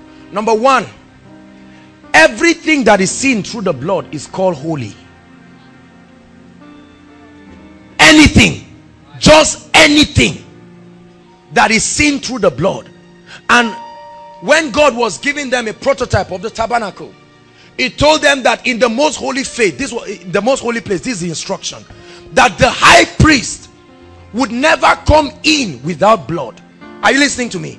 Because in the most holy place there was the shibboleth and then the mercy seat two two cherubims that protect the holiness of God made of pure gold. Overlaying them is what we call the mercy seat. Are you listening to me? Now the priest because there was no light in the most holy place I follow me now? The glory of God the literal Shekinah of God is what gave light. And so once a year in an event we call in the Jew Yom Kippur the day of atonement where the entire nation of Israel will come together. And then the high priest that has been anointed to offer sacrifice on behalf of the people. Now according to Jewish customs the lamb had to be a year old because the age of the lamb determines the validity of the atonement are you following me now? And so the lamb had to be a year old without blemish. And the priest would sanctify himself lest he die beholding the holiness of God. And because the people are not sure whether God will accept him they will tie a chain around his leg as he marches to the most holy place. Because God is so holy he cannot behold iniquity and so there will be people standing in the inner court. So that in an event where the high priest is not qualified by God's standard he will drop dead there immediately. And they will use the chain to draw him out. Are you following me now? And so the high priest the nation of Israel would stand in fear hoping that God will accept their sacrifices through the high priest. Are you listening to me? And then the high priest full of every kind of fear will begin to take steps into the most holy place. The moment he opens the curtain before he enters the first thing that will enter is the blood. You listening to me? The blood is held in a a bowl and so he would enter with the blood and immediately pour the blood upon the mercy seat. So that when God looks at the mercy seat because you see inside of the ark of the covenant were three things. Number one the ten commandments that contains the judgment of God over men. And every man had fallen short of it. Number two the rod of Aaron that budded. Hallelujah. Symbolizing the life-giving presence of the spirit. Number three the, the bread a sample of the manna that fell from heaven that will not decay typifying the divine life the quality and the power of the word of God. These were the three things that were in the most holy place. I mean in the ark of the covenant. And if the eyes of God were to look at the covenant without the blood he will see the ten commandments. And everyone has broken it. So God will be compelled to execute judgment. Otherwise he will fail to be God. Are you listening to me? Because I the love love justice and I hate wickedness. So before the Lord will look down the high priest will pour the blood so that when God looks he doesn't see the Ten Commandments again. All he sees is the blood. And because of that blood suddenly the Shekinah of God will descend from above. Physically evidently the entire nation of Israel will see the Shekinah the light the glory the power of God and it will come and light up the most holy place. And it's a symbol that their sins had been atoned for for one year. And then the nation of Israel this one time will have the opportunity to say Yahweh. The only time they're allowed to call the name Yahweh. Yahweh you are glorious so glorious in your ways and when Jesus showed up the Bible makes us to understand that wanting to make us eternally acceptable before the Father Jesus had an idea and he became the lamb. At the same time he became the high priest. And the Bible says he sacrificed himself and he took his blood. When Mary wanted to touch him when he resurrected said do not touch me. She said Rabboni do not touch me for I have not yet ascended. What was this ascending to do to enter the most holy place. There is a real tabernacle like that in heaven. It was what Moses saw that he reproduced on earth. Because according to the law of the spirit it is always reproduced in the earth as it is in heaven. So Jesus wearing his priestly robe follow me. When he resurrected he stood with his blood and went into that most holy place the very throne room and went to the tabernacle and offered his blood and said this once for every man born of a woman that washes our sins away. Lamb of God I worship you. And listen the implication is this. Every time you want to approach the father the condition to approach the father. Let me use someone. Sam please come. Do i can anybody help me with a veil? I like using this. Veil or something. Thank you. Watch this. This is called righteousness. Say after me righteousness.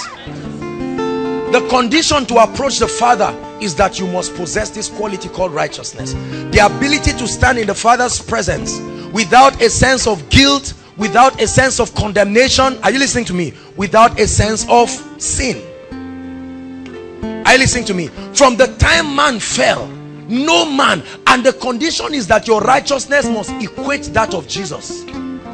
That's the only condition to be able to approach the father. And so through the law the prophets and everyone they tried to be righteous but their righteousness was short of that of Jesus. Are you listening to me? And then Jesus had this idea. When he shed his blood he now said Sam you can come to the father but every time Sam wants to walk his kindred his tribe the tongue and where he's coming from reminds him that there are certain things that will not qualify him. And then the Christ says if you believe in my substitutionary sacrifice then I give you my righteousness. Come. Every time the devil wants to accuse you listen when God looks at you he doesn't just see you he sees the blood of his son upon you. And that's what makes you holy. You are not just holy because of a lot of religious things. You are holy on account of what Christ has done. It is the activity of that spirit of holiness that causes you to begin to be, to reveal the out what we call the deeds of holiness. Because of the presence of the spirit of God. Are you listening to me? So he calls you out of every tribe out of every kindred. And when you say i'm not qualified he says no come and reign with me. My blood qualifies you. If you do not have this revelation you will never be able to approach the father to rule and to reign with him. The basis of the believer's victory is hinged on the substitutionary work of the living christ. The blood that opens up the door. I hope you realize that when jesus said it is finished there was a cut from the top of the veil right there. You know what? Let me tell you something you may not have observed in your bible. Do you realize that many years when the ark of the covenant was captured for a second time it was captured once and with dancing and singing david took it back. But a prophecy came that it will be captured the second time and it will not return. But the religious people still preserved the veil and they lied to the people. There was the ark of the covenant there because when it tore they did not see anything inside.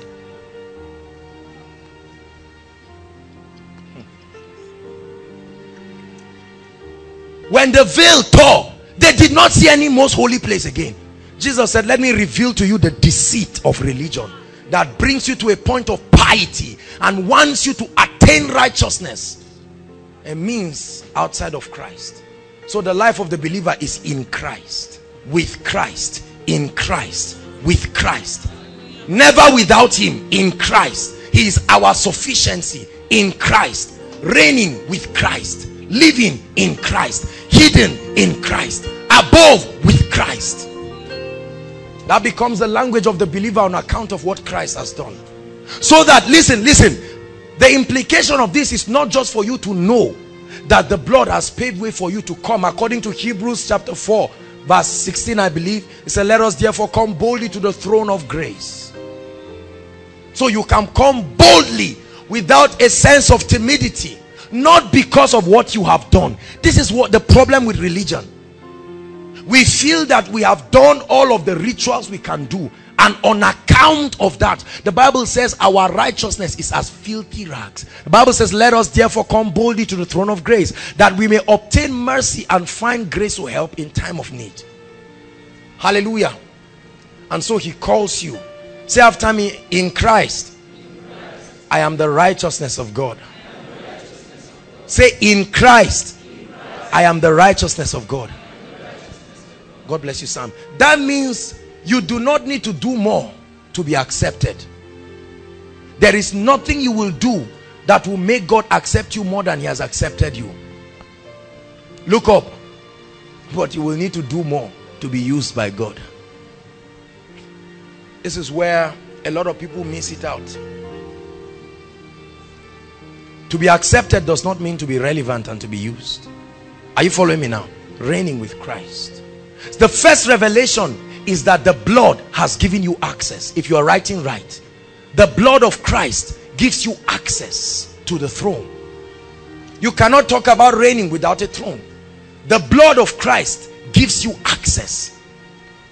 Your access to ruling and reigning is not on account of what you have done it's on account of everything Christ has done. From then on the moment you accept Jesus Christ as your Lord and Savior he becomes your sufficiency. It is always with Christ in Christ with Christ in Christ and for Christ. In him we live in him we move in him we have our being Galatians 2.20 I have been crucified with Christ. Nevertheless I live yet not I but Christ that lives in me and the life that I live in the flesh. I live by the faith of the Son of God. And he called us. And we didn't just stop at the gates. I hope you realize we did not stop at the door of the throne room. He said still come. And feeling unqualified he says just come. And takes us to his very throne and says sit with me in royalty. That's what makes you more than a conqueror. A conqueror is one who fought the battle. I follow me now? You fought the battle. They beat your face like you came out from a meat machine. You still won. You are a conqueror. And then you take the present you won and stagger your way to your wife and say sweetheart you have this. She's more than a conqueror. That's why the church is called the bride of Christ. More than conquerors. That's not to say we are more than Christ is to say by grace he loves us so much that he has exalted us and brought us to that point of royalty. It's important you understand that the blood gives us access. Are you listening to me? And as far as the father is concerned our access does not just stop at the gates. That we follow right through and sit. Let me tell you something about sitting. A king never sits until there is victory in his territory are you listening to me? When a king sits in Jewish days is proof that it is finished. So when Jesus said it is finished he didn't put Satan as a factor. He said it is shall finished. Are you following me now? There is a revelation that will give you authority in this realm. And he brought you. And he made you a partaker of his divine life. Partaker of his divine life not a partaker of his throne alone a partaker. First peter chapter 1 verse 3 okay can we have it in the slide? First peter chapter 1 verse 3 says according as his divine power. Second peter is it first or second? Second peter i'm sorry chapter 1 verse 3 according as his divine power hath given us all things not some things all things that pertain unto life and godliness how? Through the knowledge of him that has called us into glory. And virtue the next verse says wherefore has he given us these great exceedingly great and precious promises that by this we might be partakers of his divine life having escaped the corruption through lust. Hallelujah. And so he brings us to that point where we are partakers we are joint heirs joint heirs joint heirs let me show you what a joint heir is sweetheart come Janfa, permit me to use Bridget for a minute. Appreciate this great woman of God. Now, listen. I'm free. I'm free. I just spoke a language. It's none of your business. Hallelujah. Now, listen. If I own an estate, follow me. Please follow me. I needed to get a revelation of what it means to be joint heirs with Christ. If I own an estate, are you listening to me? assuming god forbid this is just an example assuming this is one cleaner one regular cleaner in the estate I follow me now who comes to clean maybe the bathrooms or something and as the ceo of that estate i suddenly come and get married to her now whether she feels qualified or not does not stop the fact that she has become the wife of the ceo of that estate. The moment we say i do it doesn't matter who hates her or who doesn't like her. There is a present tense reality that this has become the CEO's wife. Are you following me now? That means she's entitled to all the blessings and the rights and the benefits that follows that position. It's not about what she has done. It's called a positional advantage are you listening to me now she goes back to her colleagues that they used to sweep together i'm sorry I'm, I'm standing by your side. Janfa will be a good caretaker. Hallelujah. Listen, together, she has a right to tell the driver, the driver who has been insulting her every day, say, please take me to the market. He can murmur, but he will still kick the car. This is not about what he wants. It's about an instruction. Are you listening to me? In the kingdom, we do not function because of any power of ourselves. We are the bride of this king called Christ. The body that he uses to operate. So when you come and look at a door and say that door be open they may murmur. That's the reason why i don't have any business discussing with demons when i'm casting out demons. They say i'll not go. Ah, it's not whether you want to or not. I give an instruction as touching a kingdom are you listening to me? When there's a challenge in your life you stand and say satan you are looking at me alone but let me introduce the second person to you. Or rather let me tell you that i'm the second person in this equation. There is one who is mightier than i. Yonggi calls him my senior partner. The one who represents the government of heaven. Are you listening to me? Whether you believe it or not there is a crown upon your head. Sit down. Thank you very much. Are you listening to me christ has brought it to you. But now although that is a reality from god's perspective it takes knowledge through the knowledge. It takes knowledge for you to begin to walk in that reality. Are you listening to me? So in the mind of god he does not see any reason why satan should prevail over you. He does not see any reason why we should be weak and beggarly under the elements of this life. Number one because he has given you his divine life. The presence of god the holy spirit who represents the government of heaven he lives in you. The Holy Spirit makes all the difference. The life the very life of God not the type. God didn't give us a type of a spirit called holy. No the very spirit. If that same spirit that resurrected Christ is it in your Bible Romans chapter 8 verse 11 if that same spirit I believe am I right? That same spirit that resurrected Christ from the dead lives in not just your spirit your mortal body. I, I have a mission to convince you tonight and bring you to that point where you realize that you are not ordinary. Nobody will preach me into believing I'm an ordinary person are you listening to me? No. You are not this is not about bragging and talking. It's a reality that you did not even participate in. God brought you into that reality. And he says you are divine. So his life flows through you. His life flows all over you. The essence of the presence of God revealing the power the life the glory of God to people hallelujah that you are ruling and reigning with Christ. Say after me, with Christ. That statement with Christ is the basis of your dominion in this kingdom. Because many people do things, we rule and reign with prayer. Listen, we rule and reign with confession. We rule and reign with fasting. We rule and reign with diligence, with character. As good as those things are, they are only helping you to understand the with Christ concept. In the realm of the spirit, there is only obedience to one name, Christos, the Christ. Are you listening to me? So if I fast and I pray and I study the word of God, if I am not in Christ, have you seen a lot of people do different activities that should bless them, yet you cannot trace the blessing in their life? It's questionable. They are not doing it with revelation.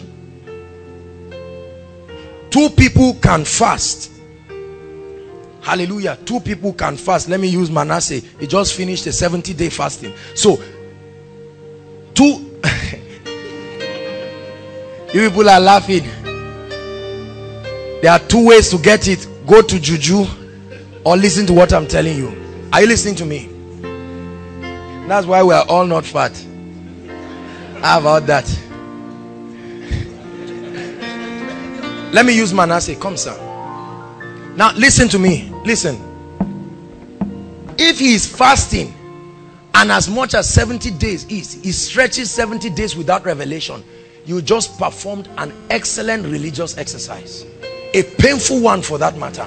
And there are many, listen, God bless you. There are many people who do vigils every day. They pray every day. The strength of your your your Christian exercise is revelation. There are people who pray in tongues without revelation and get angry at others and say, I'm praying just like this guy is praying. There must be something this guy is doing, Jerry. We are doing the exact same thing. You blow air on your cup, your spoon, nothing falls. You are angry. You are just frowning at everybody. Takes revelation. I am every time, let me tell you something. Every time I stand to minister to a sick body, humanly speaking, you look at this sick body, there's cancer. Are you following me now? There is no human way or there's need for a new heart. How in the world is a new heart going to come? From your head? Are you following me now? But every time I stand, suddenly, the Lord does this every time. And when he does it, I feel the presence of God suddenly when I stand. When there is any sense of discouragement, suddenly the Lord shows me in a split second the vision of the cross. He just reminds me, son, with Christ. The moment he says that, the anointing comes upon me. And then I can tell the person, these hands I'm laying, they are the hands of two people. First, of the one seated upon the throne. Number two, the vessel he's using. On account of this, I command a new heart or I command cancer to die or I come everything I do in life, I do it with partnership. The concept of partnership is a revelation that the believer must know. That's the reason why you can't destroy me. It's not pride. You know how many meetings we have gone to? Only God knows how many poisons. We eat everything they give us. Imagine somebody like me who not everything. They just give you, collect and put in your mouth. It's none of us that has for one night, as far as I know, roll on the bed and say, ah. There's no time for that. We walk ourselves from day night there are times that almost two or three days stretch. No sleep and i'm not exaggerating what i'm saying. I'm not saying you should practice that. We're not just doing a purposeless staying awake so that you stand and you put pins on your eyes and say i must do it nah that's religion. Lie down and sleep and god rested. You must rest. Hallelujah. Are you listening to me? I'm just provoking you. This is just a charge with christ with Christ. With Christ. You're writing a book no ideas with Christ. I'm reigning with Christ. I tap from his authority. I'm not alone with Christ. We're doing this ministry with Christ. We are blessing you with Christ. You are watching one person but there's the activity of the spirit of god. He's coming to you and causing the word to come alive in your spirit. That's what we cannot do. We can recite nice poems on stage that cannot bring transformation that's the reason why i can be minding my business over there. And someone is standing peacefully and the next thing you find people blowing air for you what happened? Partnership. The holy spirit is trusting and blessing people causing the world to prosper in your spirit. And that's how i rule and reign. Let me tell you i have zero tolerance for nonsense in my life. Zero tolerance. Hallelujah. I don't take failure as a friend. I don't entertain discouragement with christ i don't see limitations in my life. I repented from seeing limitations a long time ago. I don't see limitations. The only thing that limits me is the principles of the kingdom. That there is a time for everything. There is nothing. You are ruling and reigning with Christ. You come to that point where the word of God is in your mouth. And when you speak things will happen as though Christ himself spoke because you are with him rise up and walk will keep embarrassing you until the day you say it with Christ. The, um, the sons of Sceva thought it was just rise up and walk. Say we adore you. And then they close to make a name for themselves. And the demon said every time I look at people I see partnership. You are lonely.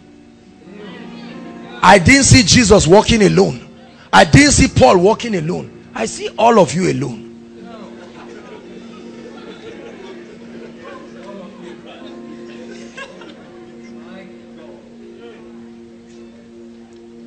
one with the Holy Spirit is an awesome wonder. Say after me I am seated with Christ. Far above sickness. Next week is our miracle service. It will be another opportunity. I love it so much. I love times that demonstrate the superiority and the authority of the kingdom. You must have zero tolerance for anything that is not in heaven in your life. Can I tell you something it doesn't matter how many times you go to the hospital. Don't be discouraged but don't tolerate it. Are you listening to me? If you must take the panadol take the panadol with a revelation and say look i'm not just taking this because i'm weak. I'm accepting the fact that i'm a student in the school of the spirit.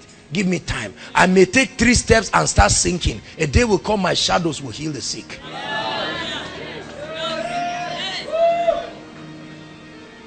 so do not be discouraged. Every time we talk about this issue of sickness people just shrink away and say ah you are touching this one now being so no no no no no. There must be a dissatisfaction. There is nothing i touch that doesn't get blessed. I have programmed my mind to believe that i'm a blessing. If i sit on this chair and you sit on it something good must happen to you. It's not it's not a it's not ritual. If i don't bless you the holy spirit will bless you that's why i can never be a failure. As a person if i fail there is one that covers me. It's called paracletus truly the believer is an unbeatable person. That's why when you fall there's no room to say my trouser is dirty. Stand up and keep moving. One who reigns with Christ refuses to see limitations in your life there's poverty ravaging your family. You challenge yourself and say in Christ in Christ I am coming. In Christ.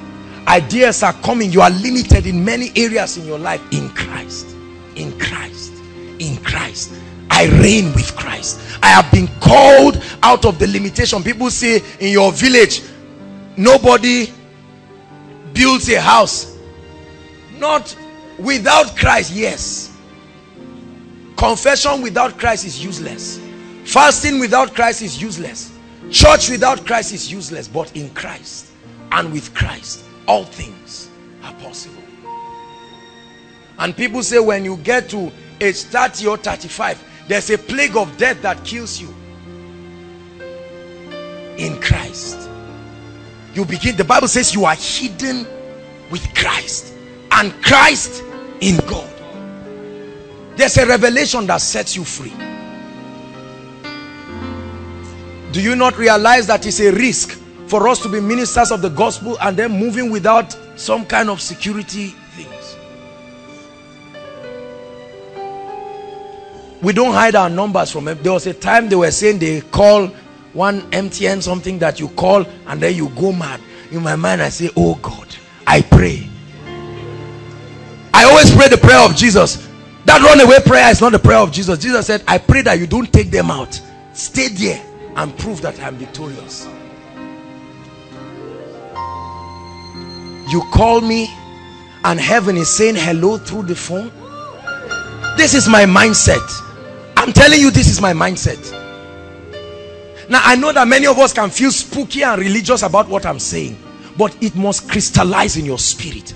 You are supernatural, not because you are called apostle or prophet, because you are engrafted in Christ. So you are supernatural. Are you listening to me? You are supernatural, every one of you. My brother, you are supernatural. Stand up. As, as much you are supernatural. You are not ordinary. You are supernatural. Stop being afraid of the business that you are doing. You started it, shut it down because you are afraid. You are supernatural. Hallelujah. You are absolutely supernatural. The life of God is in you. You cannot fear their fears. Are you listening to me? I refuse to be afraid in this life. It's an audacity that the word of God gives. It's not about your stature. It's not about your age whether or not your name is in there is nowhere that God says I should go that I cannot go there is nothing he says that I cannot do because every time God speaks he's walking with me and the Lord walking with them and confirming the word with signs following hallelujah we are doing this ministry together that's why koinonia is called intimacy and what partnership partnership with the Holy Spirit. You are a king. There's dominion upon you. Your words are powerful. Are you listening to me? Every time you speak, every time you hear us emphasize, don't speak rubbish. Don't command failure. Job was asked a question. He said, Job, hast thou commanded thy morning? He asked Job a question. He said, Job, have you commanded your morning? And have you commanded the constellations to line up? Many of us walk into our lives and hope that in the by and by things will change. I refuse to be silent. I reign. I reign. I command my morning. There is dominion and there is authority. That's the reason why if I prophesy to you that you are blessed, listen let me tell you you are blessed because when i say you are blessed i put in motion the power and the ability of the one who is in partnership with me. Do you realize you are not ordinary? All those cats crying and things disturbing your room when you enter a throne there is a whole throne in that room. Carry that mindset. Satan does not have a right to wake me from sleep. There are only two reasons why I don't sleep. One because I'm thinking or I'm planning I don't spend none of us spend more than 10 minutes to sleep. We walk ourselves to tiredness. When we lie down we bless the Lord. I don't pray that fearful prayer. Oh God if it's your will that I see tomorrow. Are you joking? There is work to be done. I'm aware that not many people are yielded to God so I'm valuable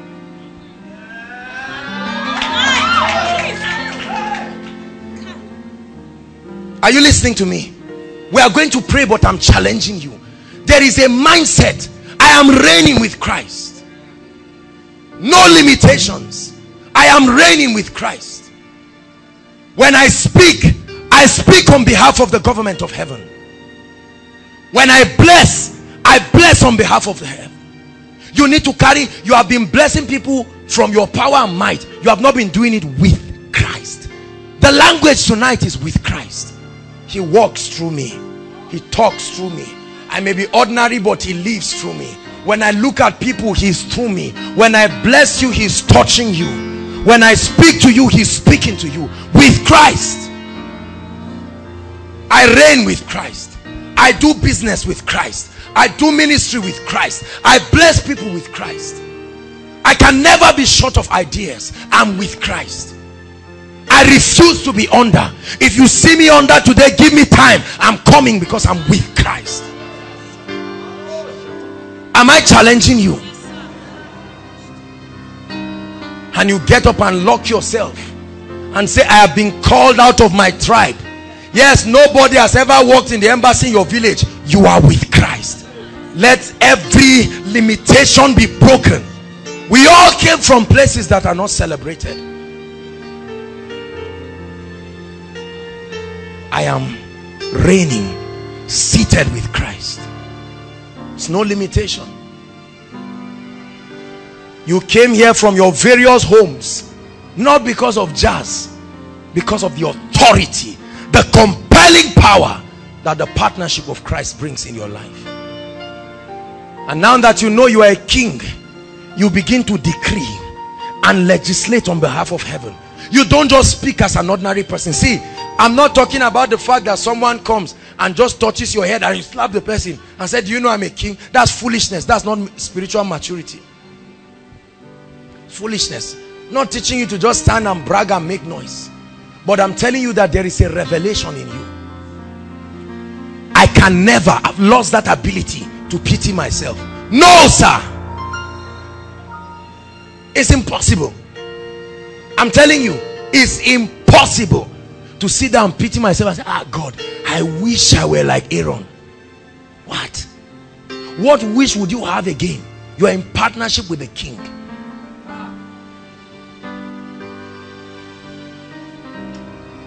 I'm seated with Christ. All authority in heaven and the earth was vested in Christ. And I occupy that office with him in glory. I'm above sickness. I say it, I'm above failure. I'm above limitation. Demons are not my problem. I know that disobedience is my greatest obstacle. I have no regard whatsoever for Satan. I'm telling you. Ask him. I have no regard whatsoever for him. Zero tolerance. You must, many of us have this nice way of negotiating with Satan. Can you leave me for two days and then come back again? We have never come back from a crusade and then hold two weeks marathon training, preservation prayer. In fact, we just, those of you who have followed us for crusades, we just and play and sleep as we are coming back. You really think if Satan had the power to kill you, he would not? I've always said this. When a demon is hitting your zinc or making noise, you know, ladies, all these things, tell the demon, why don't you come? What's the disturbance for? Smith Wigglesworth came out and saw a demon rocking a chair in his house, a physical demon. He wiped sleep and came out and when he saw the chair, he looked, he said, so is you. He turned back and went to sleep. I'm, I'm not, I'm not faking it. It's true. John G. Lake, understanding that he's a king with Christ. No disease or sickness could touch him. Spokane was, was said to be the, the healthiest city in the whole world. E.W. Kenyon was a man who was so angry nobody died less than 70 in his church he would look at a bone that is cracked with his eyes and it will start cracking back and the person will jack up these are not their books are there go and read it men who walked with christ there was a monk who they were trying to put wood in the church and the wood was short he held it and completed it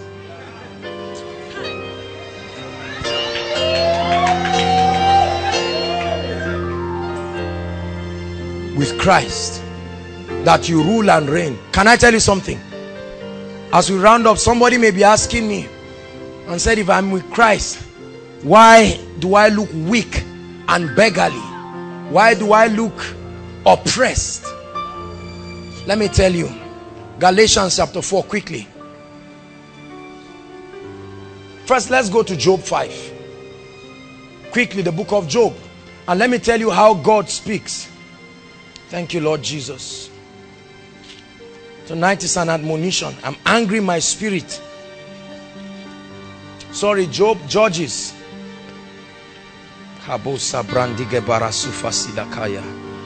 Judges 6.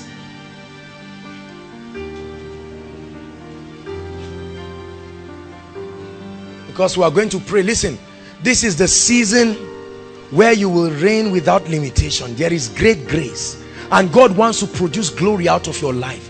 You cannot bless people when you are still suffering what they are suffering. I exempt myself. Verse 11 and there came an angel of the Lord and sat under an oak which was in Ophrah and pertained to Joash the Abiezrite and his son Gideon threshed wheat by the press to hide from the Midianites. Now this was Gideon. Because of the oppression that had happened to them the Midianites. Gideon was the least in his father's house and his tribe was the least. The Bible says he was hiding to secretly thresh something because every time they threshed it they had some bullies who would come. Are you listening to me? They would come and bully them just like Satan does to all of us let me tell you I was so oppressed by Satan for a long time in my life. Every time I sleep I've shared my story. Demons I literally have visions of demons walk into my room and they oppress me. So once it's evening I keep smiling but people don't know what is going on. And one day hmm, light came into my spirit that I'm seated with Christ above not below above above. Hallelujah. I, I I was staying in area BZ I ran to area BZ I ran to area BZ and I stood outside near my BQ and I shouted. I said that demon that comes to oppress me I invite you this night. That's what I said. If demons are disturbing you just tell them to come and pay us a visit have a pleasant experience. Ah George don't talk like that oh. We have seen men of God that have spoken like this and demons dealt with them. I don't know what they believed but I know I'm sitting with Christ.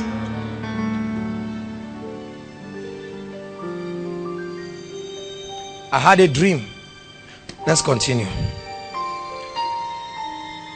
And the angel of the Lord appeared to him. Now Gideon was hiding I follow me now. But hear what the angel I, I hope you understand that word angel is the Lord himself. And said the Lord is with thee. Thou what? Thou what? God does not call you by your past or present. He calls you based on how he sees you. He called things. Seeing a man who is hiding he calls him a mighty man because he has seen the end of his life that this guy is a warrior. So every time you dream you see yourself conquering territories and you wake up and you are afraid. And God says when will you begin to call yourself what I'm calling you? We have called ourselves what our villages have called us. I refuse to be named after my past. I refuse to be named after my limitation. I bear the name that symbolizes my authority and victory in Christ. Am I challenging you tonight? Because we are going to pray. He said "O mighty man of valor. One more verse. Verse 14 and the Lord looked upon him and said go in this. So he had might although he was hiding. And the Bible tells us in Ephesians chapter 3 verse 20 that it is according to the power that might that is in us. It's always according to that might. You are anointed. Are you listening to me? Let me let me walk up to some people behind and challenge them. Those who never feel that they are anointed. Sister you are more than anointed. Are you listening to me? You are more than anointed. Are you listening to me? I'm very serious. I'm not just trying to preach. You are really anointed. You must have this revelation. Don't just stand and think these are the anointed men. No you are not anointed because hands were laid on you. You are anointed every time you come into partnership with the spirit hallelujah. And you are above. You are above. Do not allow the devil if you allow satan he will spit out your bones. He will wreck your life. Refuse it. You must stand and legislate. Hear me inside and outside. The lord is challenging us tonight. I see a mystery under the sun. Servants ride on horses while princes are walking afoot but that we need to change it i'm not alone i am with christ rise up on your feet seated with christ reigning with Christ. With his blood, he paid the price. Paid the price to bring us to that point of authority. Don't wait until you get into ministry. Challenge that sickness with Christ. Lift up your voice and begin to pray. I am not a failure, prophesy. I can never be a failure. I refuse to be weak and beggarly. I want everybody to pray. This is not a prayer for men of God.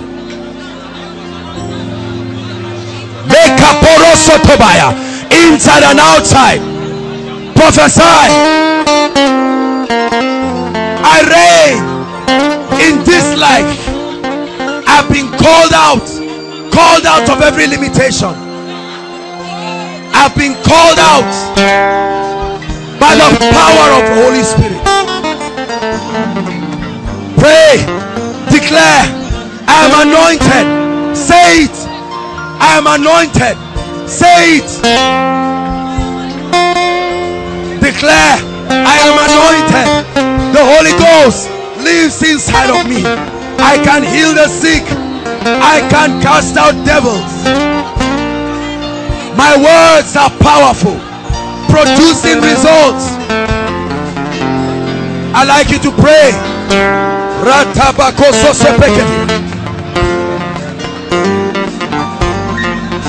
I can effect changes in my life.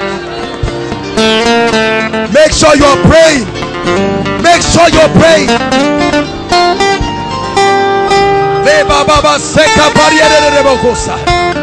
Come on, pray in the spirit.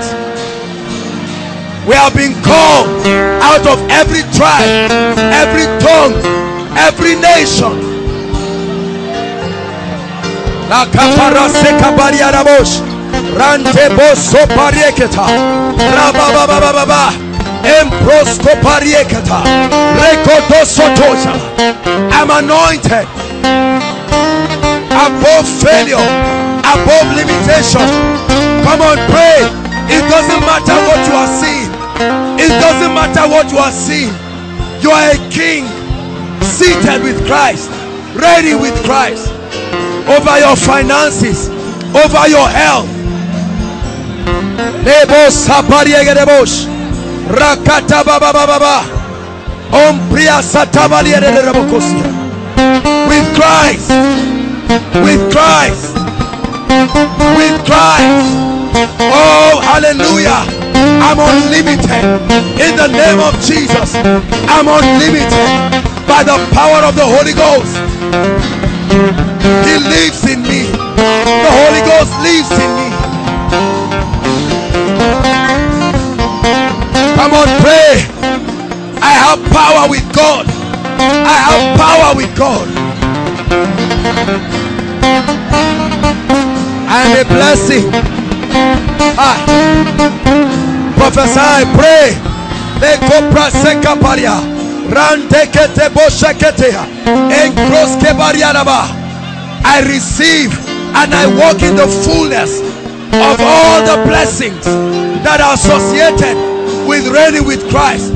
Divine health, prosperity, joy, peace, authority, favor, grace, glory. I'm prosperous. I am blessed. I am well favored in Christ.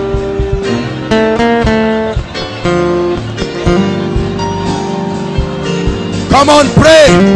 Come on, pray over your family. Declare over your family. Declare over your finances. Declare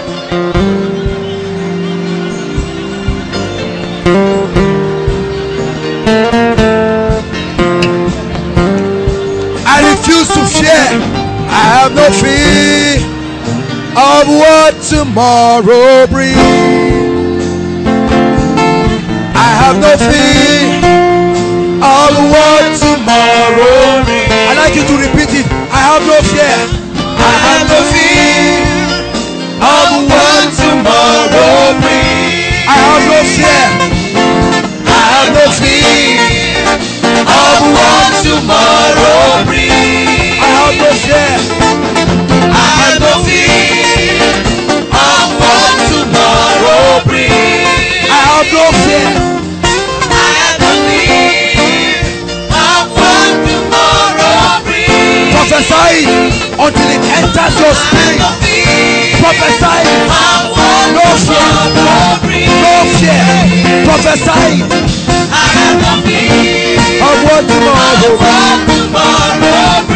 I have no fear. Prophesy.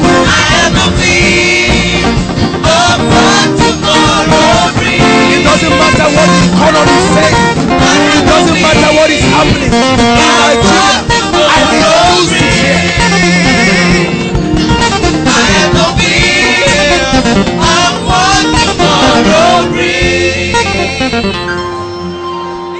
That although you are gentle like a dove, bold as a lion,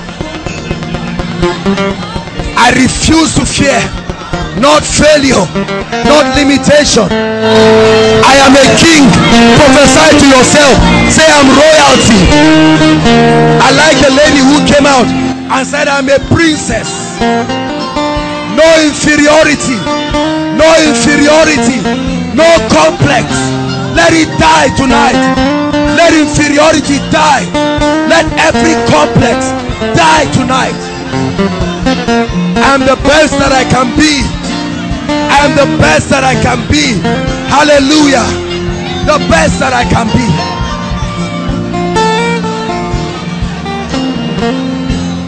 Hallelujah. Listen. Listen. Hear me. Can I tell you something? When you walk in this consciousness, Satan will be far from you. No matter how a madman is, he doesn't enter fire. No matter how mad. People say he doesn't know. He will not know whether it's 5 naira or 10 naira. Set fire and see if you come and enter it. No matter how mad he claims to be, he knows what fire is. The Bible says he maketh his angels wind, spirit, and his ministers flames of fire. Can I tell you something? refuse to allow the things that you see govern you if i die of sickness today the last word that will come out of my mouth is by his stripes i am healed. I believe the word of god more than the result it will produce in my life. Are you listening to me? Hold the hands of somebody. Pair yourselves into two we're going to take the last prayer point. Now take it seriously. This is not the time to just be nice and try to check your weapon we are going to pray. Listen. Listen. You are going to prophesy. Are you listening to me? Take it seriously. Some of you are just smiling. Hold the hands of somebody. Hallelujah. We are going to prophesy. You're going to speak now that you know you are anointed inside outside. The Holy Ghost is there call the person blessed. Use your kingly authority. Come on saints of God. Kings priests command their morning. Cause the stars the constellations to align for their favor. And the stars fought for Deborah. And the stars fought for Deborah. We command nature we command the elements both in the realm of the spirit and in this realm to align in your favor bringing you victory bringing you grace. Prophesy. Make sure you are speaking. You are blessed. You are the head. You are not the tail. You are above. You are not beneath. Death is far from your life sickness is far from your life. Poverty is far from your life. Whatever you touch is blessed. Whatever you touch is blessed. Blessings on your finances on your spiritual life. Your ears are open to hear the voice of the spirit. Your eyes are open to see realities in the realm of the spirit. Every inferiority dies in your life. You are rising higher higher. You are walking in favor. You are walking in glory. Prophesy. Speak over your neighbor and watch the power of the authority of Christ in you at work.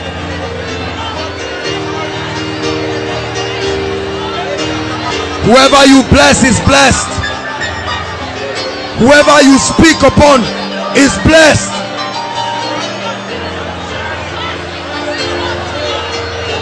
Come on, tell him you are blessed. You are blessed, blessed, blessed beyond the curse.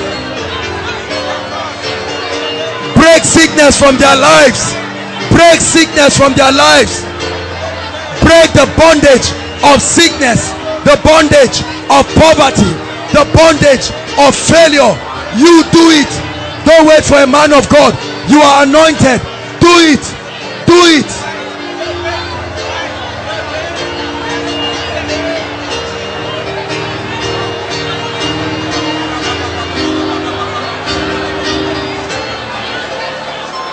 Hallelujah. Hallelujah. Say after me, I declare that I am great. Inferiority dies from my life. I refuse to be inferior. I am above. Say it one more time. I'm above. Say, I am anointed. I'm seated with Christ. I am royalty. I refuse sickness. I refuse poverty. I refuse failure. I embrace the glory of God. I embrace the grace of God. I am one with Christ. I am victorious in this life. I see no limitations. I am victorious. One more time. I am victorious. Give God a big shout of praise. Hallelujah. So go back to your job. Go back to your class. Go back. Are you listening to me? Go back to your family members. Go back to your roommates. Go back to your class members. Go everywhere and tell them a message. The message is that with Christ you are above. That's the message. With Christ you are above. Listen, it's an assignment throughout this week. It must be your confession. When you are walking, walk conscious of the fact that you are with Christ. And whatever was not permitted to be found in the life of the living Christ, refuse it, reject it. People may criticize you, reject it. They will not be there to sympathize with you. Reject it. Don't wait for somebody to do it for you. There are people you'll be inviting to come for miracle service. There are some of them that the moment you call them, the Lord will give you a word of knowledge about their case. Don't sit down there and say, hey, am I qualified? Mercy qualifies you. Lay hands on the person and say, thou devil, and end comes. Whether they call you pastor or pastor's wife, that's none of your business. When they call you at home and say the landlord is coming to kick us out next week. I like to say, all right, all I need you to do at home is cheer up. You shut down your phone and say, Lord, are you not called the father of spirits? Every man's spirit is in your care. There are rich spirits on the earth. I call them my family. It's called the father of spirits. Hallelujah. There's one scripture we're going to be studying this week. Hallelujah. Job 22 verse 28. That's going to be our verse of study as we prepare for the miracle service. Job 22 verse 28. It says, And ye shall decree a thing, and it shall be established unto thee. Please meditate. I know many of you know the verse off heart, but it has not changed your life. That means the light has not entered your spirit. Hallelujah. Organize Bible studies with it. Call your friends. Your enemy is the person that comes to distract you when you are studying that scripture. Hallelujah. Pray it. I prayed about the creative power of the spoken word. And I used Ezekiel chapter 37 when God was showing me. I first saw it in the life of Bishop Oyedepo. And I saw it in the life of Thank you for watching our entire video today. If you feel you can bless someone, please join us and spread the gospel by sharing this video on your social media.